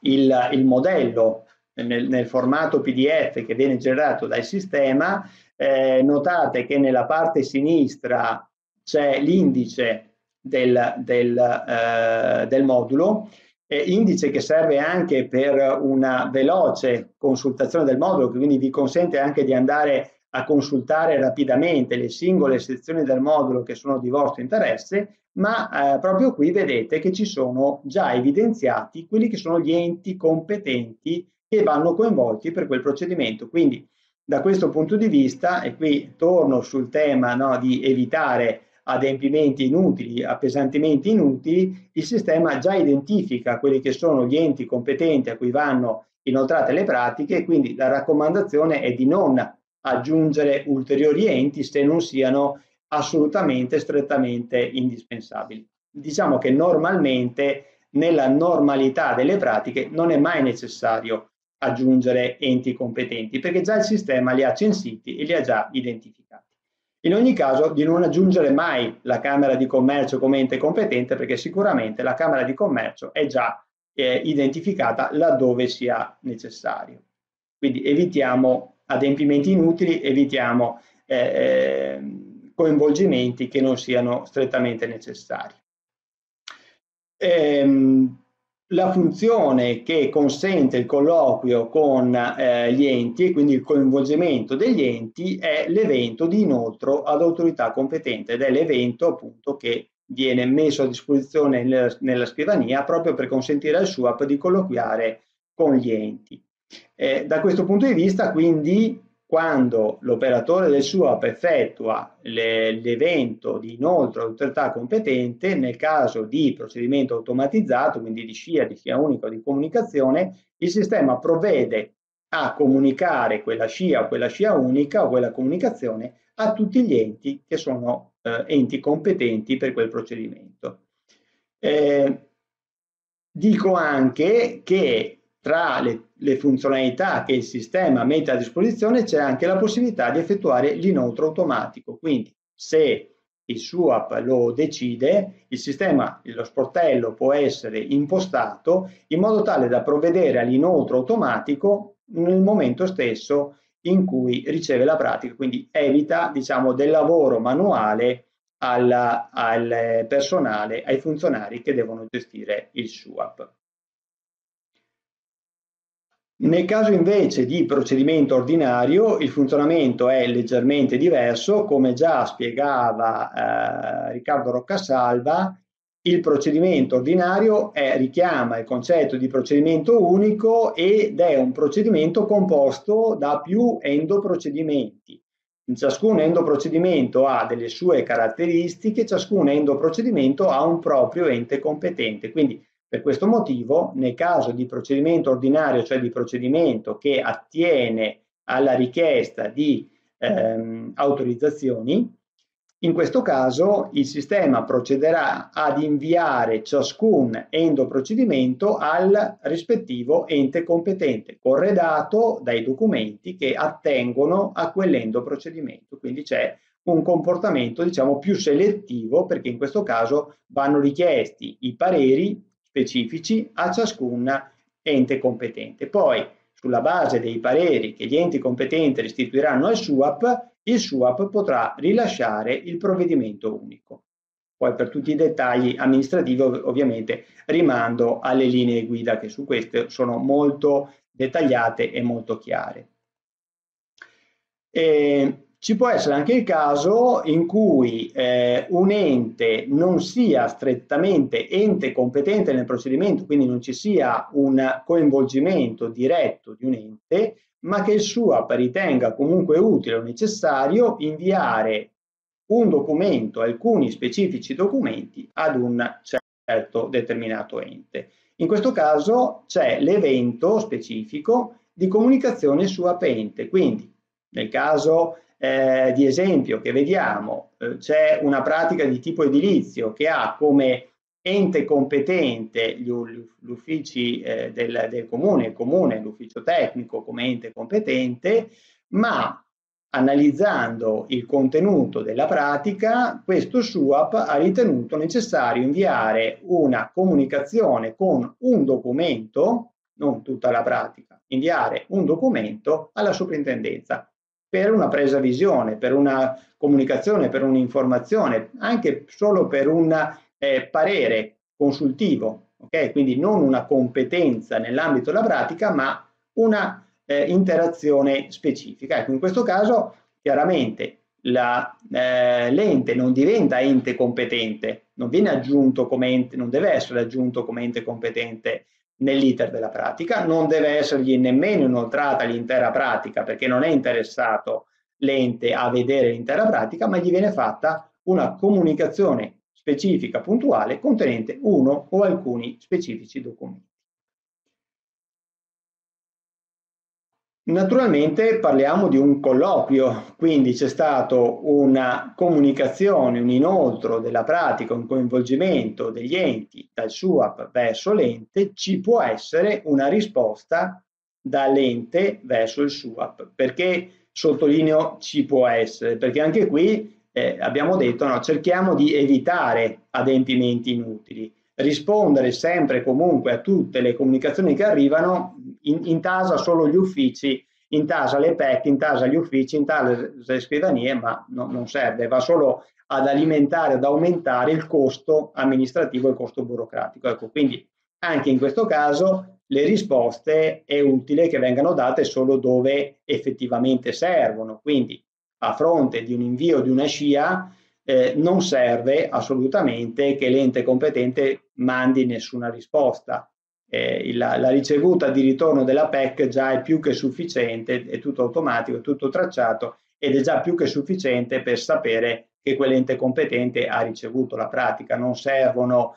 lettere di risposta, eh, sono solo diciamo, perdite di tempo, scusatemi la franchezza. Eh, invece ci possono essere dei casi in cui assolutamente è necessaria una risposta dall'ente competente, eh, è necessaria dove ci sia una richiesta di parere, ovviamente è necessaria dove ad esempio ci siano degli scontri negativi, quindi laddove è verificata una scia, l'ente competente verifichi che ci sono delle carenze di merito, eh, necessariamente dovrà, dovrà, rispondere. Dove eh, ci sia un eh, parere negativo, ovviamente dovrà rispondere, ecco, ma sono casi specifici, non la totalità delle, delle pratiche. Non per la totalità delle pratiche è necessaria una risposta. La risposta come può arrivare dall'ente verso il suo? Beh, ovviamente in modalità esclusivamente telematica, anche questo la legge da dieci anni a questa parte lo dice in maniera molto chiara.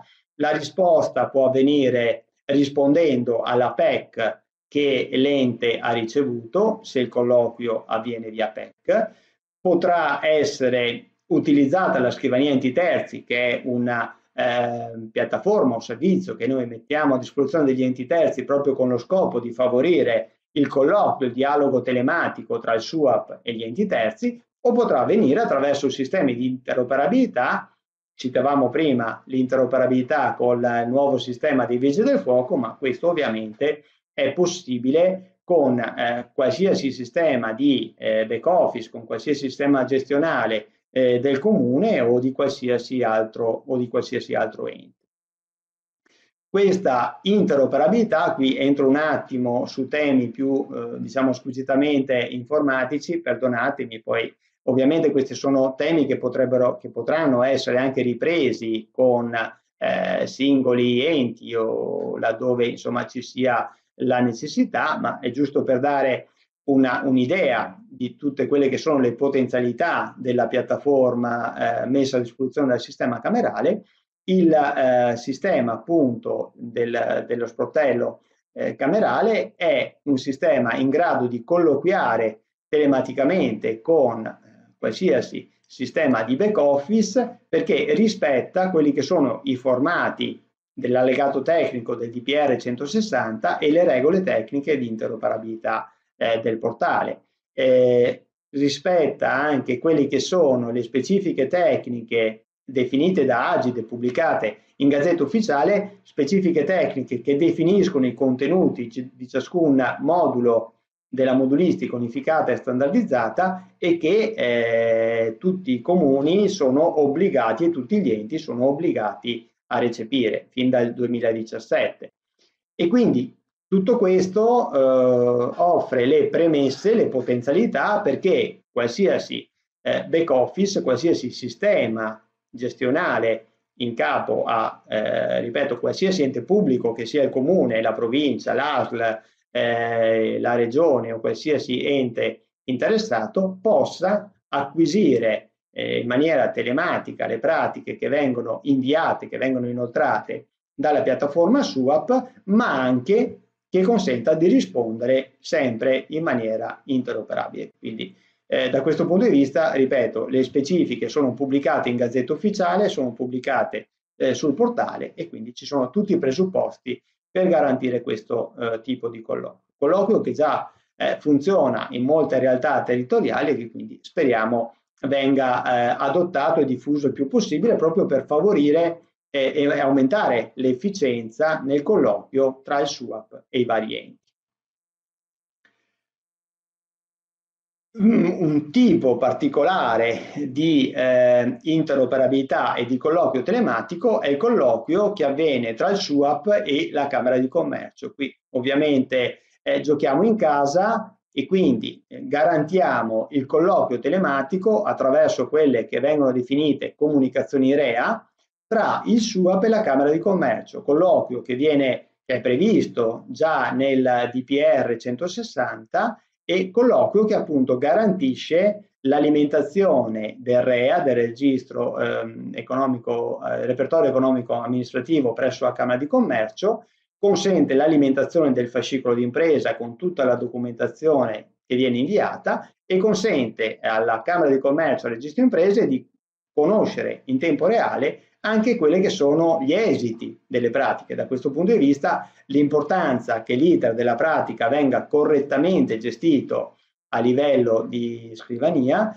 sia perché l'iter della pratica è visibile all'utente, abbiamo visto prima no, che eh, l'utente attraverso la my page, l'imprenditore attraverso il ehm, cassetto digitale dell'imprenditore hanno la possibilità di seguire l'iter della pratica, quindi è importante che vengano, venga tracciato all'interno della scrivania l'iter della pratica, ma anche perché questo poi, questo esito, viene comunicato alla Camera di Commercio, che quindi eh, sa automaticamente se quella certa scia è andata a buon fine piuttosto che no, se quell'autorizzazione è stata rilasciata piuttosto che no, perché questo ha chiaramente poi un'influenza anche rispetto a quello che è il registro imprese, rispetto a quella che è la posizione eh, nel registro imprese di quell'impresa, di quell'attività produttiva.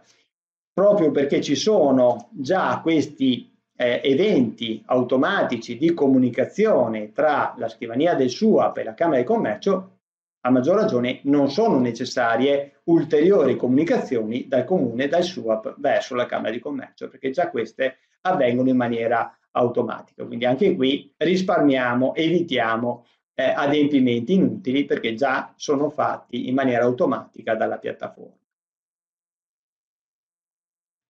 Bene, a fronte di questa comunicazione che arriva eh, automaticamente dal SUAP verso la Camera di Commercio, altrettanto in maniera automatica la Camera di Commercio risponde mettendo a disposizione del SUAP la visura del registro imprese, cioè nella vostra scrivania voi trovate a disposizione questa sezione, questo pulsante, scarica la visura.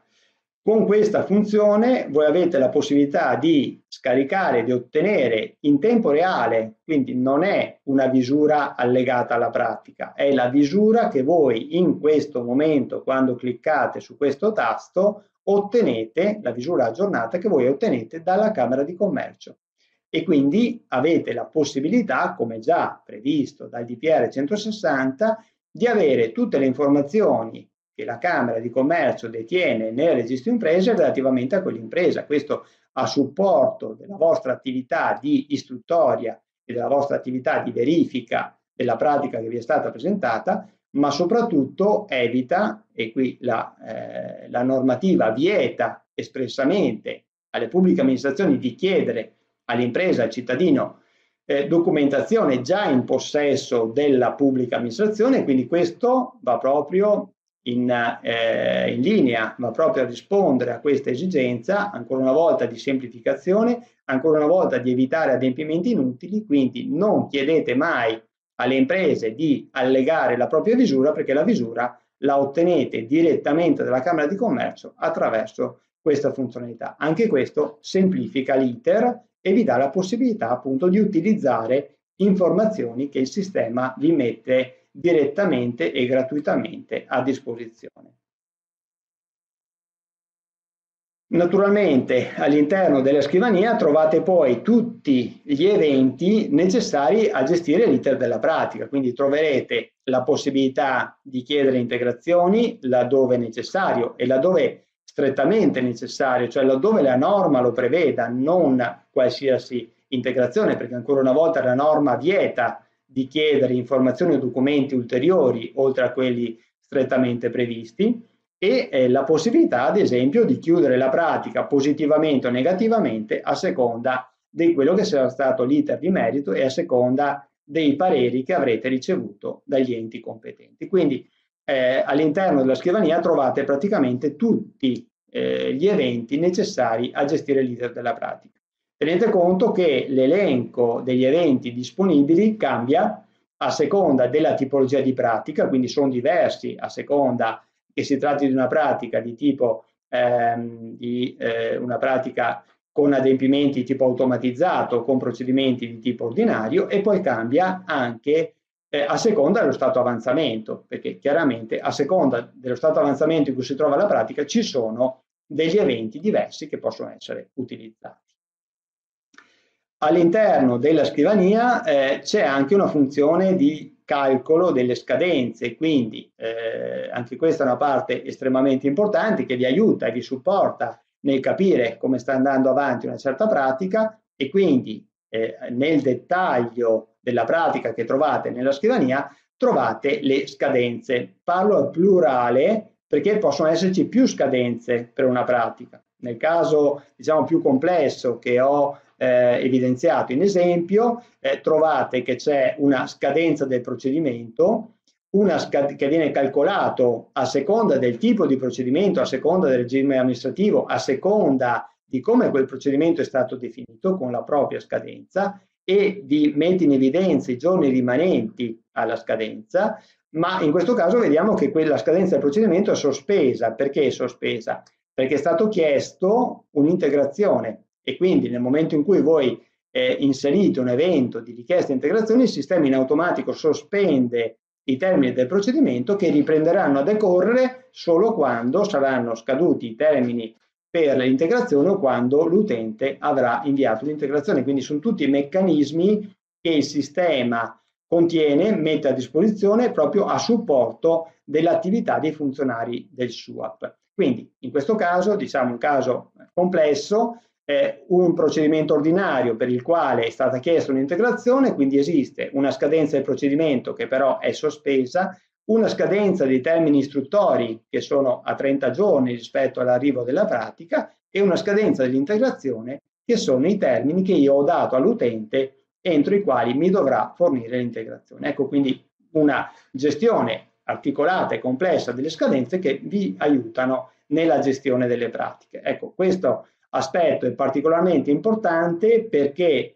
proprio la legge 120-2020 stabilisce che sono inefficaci i procedimenti, i provvedimenti adottati dopo la scadenza dei termini. Quindi l'attenzione ai termini, alle scadenze e alle pratiche è particolarmente utile e importante. Esiste poi una apposita funzione di scadenziario che vi dà proprio la possibilità di vedere l'agenda, la lista delle pratiche con tutte le relative scadenze, quindi un ulteriore strumento di supporto che vi viene messo a disposizione.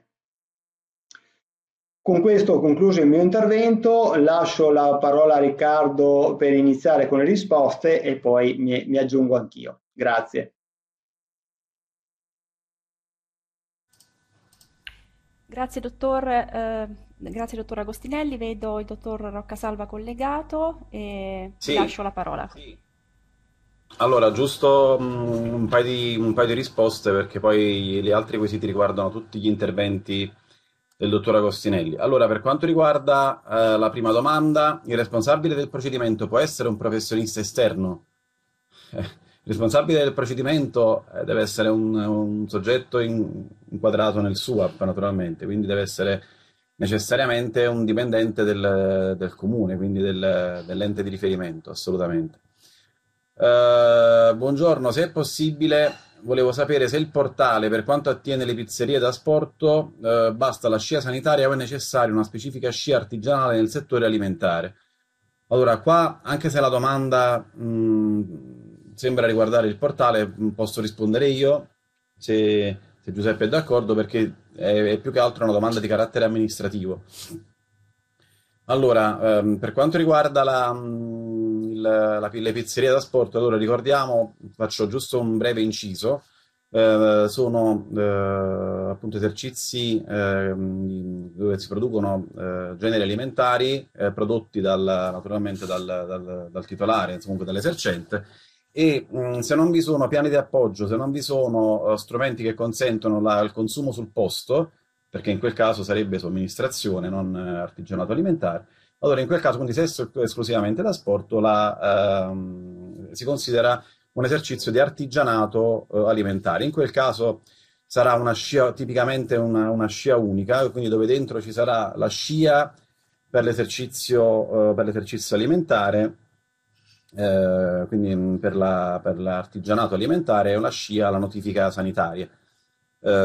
in, in primis, diciamo. Volevo giusto ricordare, mh, mm, giusto colgo, colgo un quesito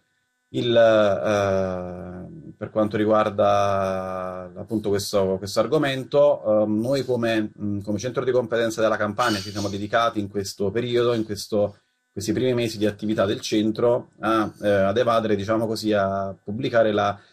la, modulistica che riguarda specificamente il testo unico del commercio, quindi mh, prossimamente eh, verrà pubblicata anche la modulistica relativa alla, alla rivendita di quotidiani e periodici e a tutto ciò che riguarda la, la somministrazione.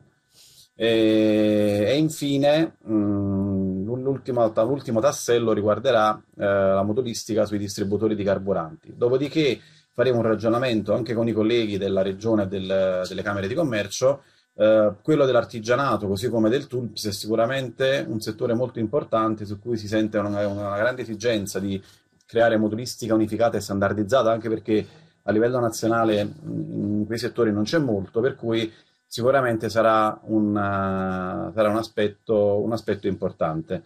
Uh, prima di ridare la parola al dottor Agostinelli, visto che sono tutte domande che più o meno riguardano il suo intervento, volevo soltanto anticiparvi che, uh, che prossimamente ci sarà un altro, il secondo, il secondo webinar del ciclo, che riguarderà, mh, nel, nel, quale io e la, e la, collega Giuseppina Russo tratteremo più specificamente le linee, le linee, guida per quanto riguarda il procedimento del SUAP, quindi eh, si tratterà della, del procedimento di SCIA, quindi la, le verifiche delle SCIA, il procedimento unico autorizzatorio, quindi quello dell'articolo 7, il, eh, il, procedimento che riguarda soprattutto le, eh, le, varianti, le, varianti, urbanistiche, quindi entreremo più nel dettaglio del, dal punto di vista amministrativo, tecnico della, del, eh, del, procedimento, del, procedimento, di SUAP. Quindi volevo giusto, uh, volevo giusto ricordare, Onorina mi sembra che già ha dato questa informazione, però la volevo, la volevo ribadire. Uh, io Giuseppe mi fermerei qua, eh, ti, ti, cederei di nuovo la parola perché vedo che le domande riguardano grosso modo tutte le, sue, tutte le tue tematiche che hai trattato tu. Grazie dottor Rocasalva, vediamo, perfetto. Prego, dottore Agostinelli. Sì, eccomi, eh, appunto molte, molte domande sono di tipo appunto amministrativo, quindi eh, scorrendo un po' quelli che sono gli aspetti più di carattere tecnico. Allora, eh, la piattaforma non, non va acquistata, è, è, una piattaforma, come dicevo, messa a disposizione dal sistema camerale, quindi eh, i comuni che fossero interessati a utilizzarla eh, devono rivolgersi alla Camera di Commercio di competenza, eh, sottoscrivere l'adesione al servizio e poi eh, in questo modo verrà attivata la piattaforma e verrà fornito tutto il eh, servizio. Eh, essendo un servizio disponibile eh, tramite, tramite, web, non, serve, eh, non servono installazioni, non servono dotazioni particolari presso il comune, ma semplicemente diciamo un computer, quello sì, serve un computer per collegarsi alla piattaforma, un collegamento internet, ecco, ma non servono ulteriori eh, strumentazioni informatiche. Eh, poi ci sono alcune domande che riguardano la, la gestione eh, diciamo interna all'ente. Ecco, noi non forniamo sistemi di back office. Eh, quello che noi forniamo è un sistema di sportello, è un sistema che consente di gestire in maniera telematica e completa tutte le funzioni del SUAP, ma è un sistema appunto di sportello, quindi eh, non forniamo eh, sistemi di back office, sistemi gestionali interni agli enti e nemmeno interni al comune. E per quanto riguarda difficoltà specifiche nell'utilizzo della piattaforma, ehm, appunto noi mettiamo a disposizione un'assistenza tecnica, quindi se mh, qualcuno di voi insomma, trova delle difficoltà nell'utilizzo eh, della piattaforma può rivolgersi al nostro, sistema, al nostro servizio di assistenza e chiaramente daremo tutto il supporto necessario per poterlo, eh, per poterlo utilizzare al meglio. Poi eh,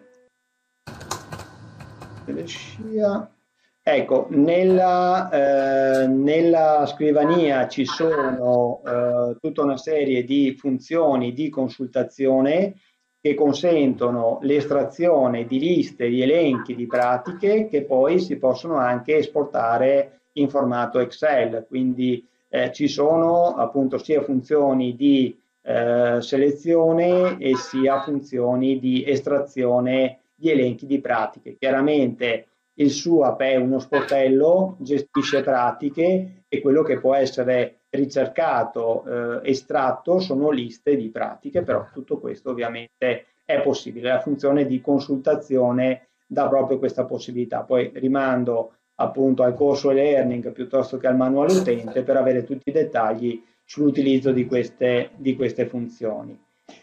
Per quanto riguarda la conservazione digitale, eh, non ne ho parlato, ma tra le eh, funzionalità, tra i servizi che noi svolgiamo, in quanto siamo anche conservatori accreditati presso Agid, c'è anche la conservazione di, tutte, eh, di tutta la documentazione. Quindi la, la eh, conservazione digitale dei dati la, la assolviamo, la, il comune la assolve nel momento in cui aderisce, aderisce alla, alla, alla piattaforma ed è anche per questo che sottolineavo l'importanza di eh, sottoscrivere e di regolarizzare l'adesione con la, la, Camera di Commercio. Parlando di scadenze, ehm, appunto è possibile nella, nell'ambito della singola pratica, del dettaglio della singola pratica, eh, prendere visione, avere evidenza delle scadenze della singola pratica, ma come accennavo è anche eh, disponibile una funzione di scadenziario che vi dà l'elenco totale di tutte le scadenze, quindi vi dà la, la, lista di tutte le scadenze, anche qui con la possibilità di applicare dei filtri, quindi magari di avere il filtro solo e delle pratiche di tipo ordinario, avere il filtro solo delle richieste di integrazione, avere il filtro solo di determinate tipologie di pratiche o di un certo periodo di tempo. Anche in questo caso, anche questo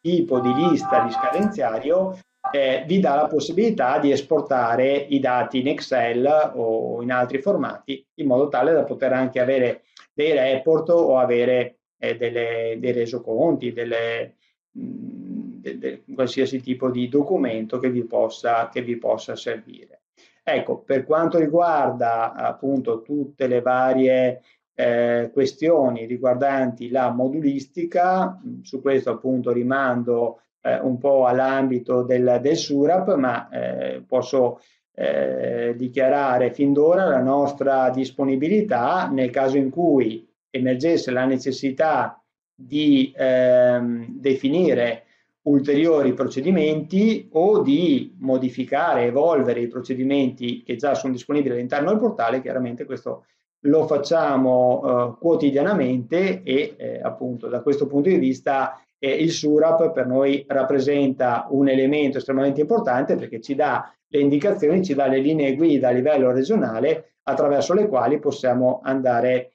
a ehm, standardizzare, semplificare e migliorare i contenuti dei procedimenti telematici che sono disponibili all'interno della, eh, del portale.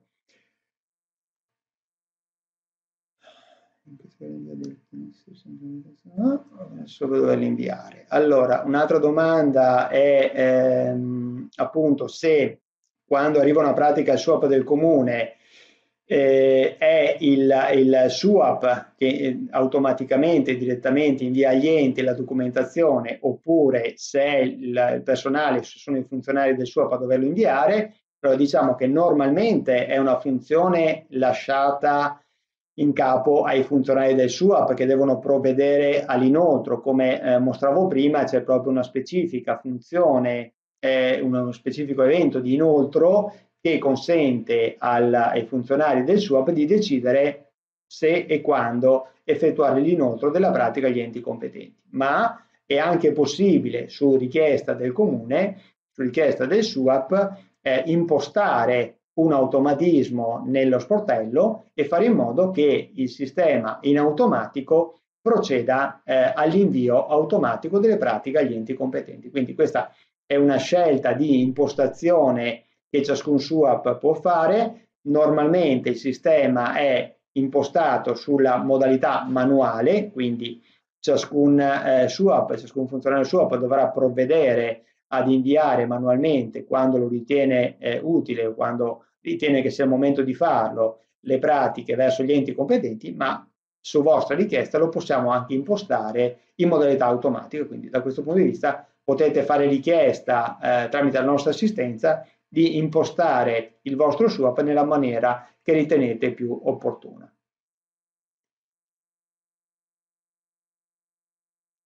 Allora, un'ulteriore domanda riguarda Grazie. le cartelle zippate. Posso rispondere? Sono in tempo? Sì, sì, prego, come no.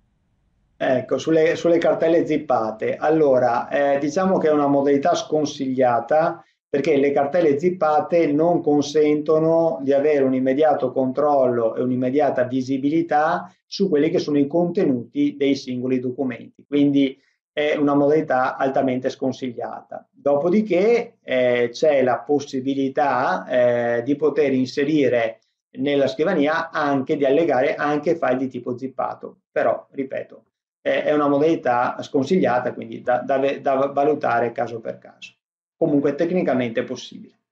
Io ho concluso e ripasso la parola. Grazie, dottor Agostinelli. Allora, ehm, lascio la parola prima dei saluti al dottor Sergio Mazzarella. Prego, prego, dottor Mazzarella. Non la sentiamo, ecco. Sì, adesso dovrebbe essere attivato il microfono.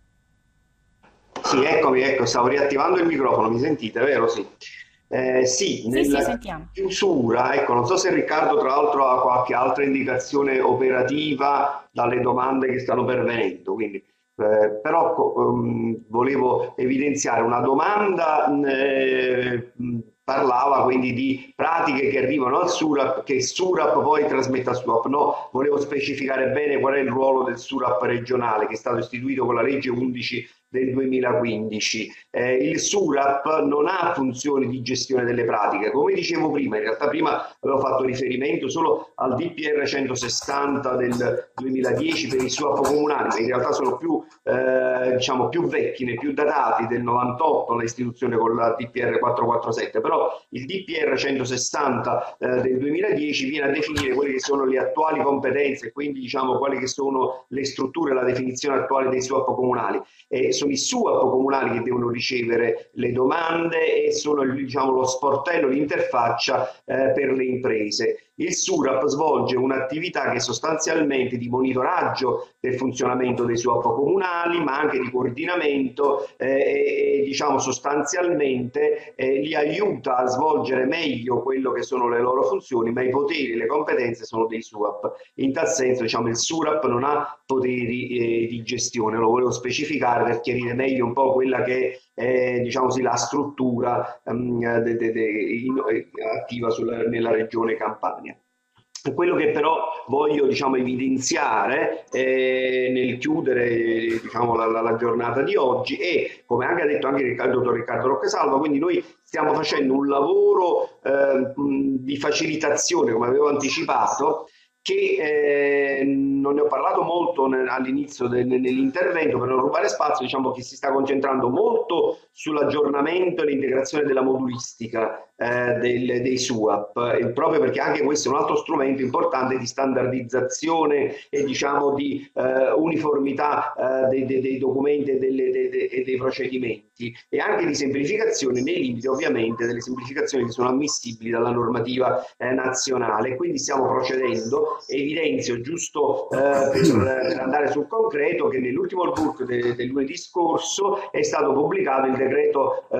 119 della, delle attività attività produttive che ha approvato appunto tutta una serie di modulistiche sul commercio in sede fissa, eh, sul commercio eh, su, su, posti pubblici o anche sul commercio speciale, eccetera. E mo, come ha già detto il dottor Riccardo eh, Roccasalvo, proprio molto a breve ci sarà un ulteriore decreto che approverà la modulistica per eh, la somministrazione di alimenti e bevande, per la vendita all'editoria e in realtà abbiamo anche aggiornato come centro di competenza quello per le agenzie eh, funebri. Nello scorso anno c'era stata altra modulistica di aggiornamento per il commercio e anche per le agenzie di viaggio, quindi insieme ecco, stiamo cercando di lavorare con tutto il centro di competenza e quindi con il Formez, Union Camere e Infocamere diciamo, anche ad aggiornare tutta questa modulistica. Però in generale il segnale che voglio diciamo così, dare, il messaggio un po' a tutti eh, i nostri interlocutori, in particolare poi ai SUAP, è che come SURAP e centro di competenza siamo a disposizione per eh, approfondire poi determinate criticità, problematiche eh, che, che, possono emergere e eh, insieme diciamo, a questa squadra di partner poi a seconda delle proprie specificità trovare, ecco come dire, delle, indicare delle soluzioni che sono percorribili per migliorare il servizio all'utenza che poi è lo scopo finale diciamo, di tutte queste attività. Eh, come già avete ricordato, questa tematica di approfondimento poi delle linee guida eh, seguirà, poi proseguirà nel, nella, nella, ehm, diciamo nel webinar del 10 di giugno e poi anche del 24. Diciamo, l'interesse principale oggi era quello di portare innanzitutto, di, di diffondere la notizia dell'approvazione di linee guida di per sé riteniamo che il testo è molto eh, chiaro ed è molto eh, diciamo facilmente consultabile da tutti e eh, che è stato poi pubblicato sul, ehm, sul book vi do il, no, il, no, il numero il 42 comunque del 19 di aprile del, de, di quest'anno, però è facilmente poi eh, scaricabile anche dal portale del SURAP. Altro elemento ecco, che suggerisco eh, per gli operatori eh, di tenere d'occhio perché sul portale sono appunto indicate tutte le, le, le attività, le notizie, gli aggiornamenti della modulistica che facciamo, nonché anche uh, i, quelli che sono uh, i pareri più ricorrenti, che, le domande più ricorrenti quindi che ci vengono fornite, quindi le FAC. Eh, ciò, con ciò eh, saluto, ringrazio tutti per la cortese attenzione e come detto restiamo a disposizione comunque per qualsiasi problematica eh, che si può, che, eh, con dubbi che si possono avere nella, nell'attività quotidiana dei SUAP. Eh, buona giornata, arrivederci. Eh, Onorina, se posso, visto che mancano tre minuti, volevo rispondere a un'ultima domanda. Sì. Vai. Eh, dove, dove, si chiede, per quelle che sono insomma mie, il mio ambito di competenza, eh, per quanto riguarda il commercio elettronico di auto usate, si chiede c'è bisogno di indicare necessariamente il luogo di deposito per le verifiche in merito al TULPS e registri beni usati. Allora, ehm, su questo eh, spendo giusto due, due, parole, poi gli estremi magari di quello che, che citerò li metto nel parere, nella, nel testo scritto che pubblicheremo sulla eh, che pubblicheremo sulla, sulla, pagina di eventi PA eh, alle, vostre, alle, vostre, domande. Faremo, pubblicheremo le risposte scritte e quindi metterò gli estremi. Allora, c'è una circolare della, in proposito del, del, MISE, del Ministero dello Sviluppo Economico del 2018, che eh, ricorda che nonostante la, la, l'abrogazione dell'articolo 126 TULPS, ehm, che riguarda appunto il commercio di beni usati, è sopravvissuto l'articolo 128 che invece riguarda proprio l'obbligo di tenere il registro dei beni usati. Quindi per l'ultima eh, domanda sicuramente la risposta è affermativa, quindi bisogna continuare a tenere il registro dei beni usati, mentre per quanto riguarda il, eh, il discorso della, della, del, mm, di indicare il luogo di deposito, il modello regionale che abbiamo predisposto conformemente del resto a quello, a quello nazionale, eh, prevede mh, mm, come onere informativo, diciamo proprio nel, in, in, fase di compilazione del modello, soltanto eh, l'indicazione del, del, sito, del, del, dell'indirizzo sito web mh, attraverso il quale si svolge l'attività di commercio elettronico e non anche eh, e non anche diciamo, il, l'indirizzo del, del, deposito dei veicoli usati. Questo naturalmente non toglie al, al SUAP poi di effettuare eh, e anche agli organi di polizia locale del comune, naturalmente di poter chiedere in fase di istruttoria ulteriori informazioni alla, in, appunto in fase di verifica alla, alla, all'interessato. Quindi volevo dire soltanto questo e ho concluso. Grazie mille. E, ehm, allora, attivo la mia webcam. Io ringrazio tutti i partecipanti, ringrazio i relatori. Ricordo, eh, prima di chiudere l'incontro di oggi, che eh, sia la registrazione eh, che le slide relative a questo incontro saranno messe a disposizione sul sito di Eventi PA ehm, alla pagina dedicata a questo evento eh, entro la giornata di oggi, che gli attestati di iscrizione saranno rilasciati a quanti hanno seguito almeno il 20% dell'incontro e si sono chiaramente iscritti all'incontro e saranno eh, scaricabili autonomamente sempre dal sito di Eventi PA alla pagina I miei eventi. Questi attestati di iscrizione saranno eh, disponibili eh, per essere scaricati eh, nei prossimi giorni. Ricordo infine che anche le risposte alle domande saranno ehm, messe a disposizione per iscritto nei prossimi giorni sul sito, sempre sul sito di Eventi PA, alla pagina dedicata a questo evento. Eh, io ringrazio ancora tutti, vi auguro eh, una buona giornata. Grazie. Grazie, arrivederci. Arrivederci. arrivederci.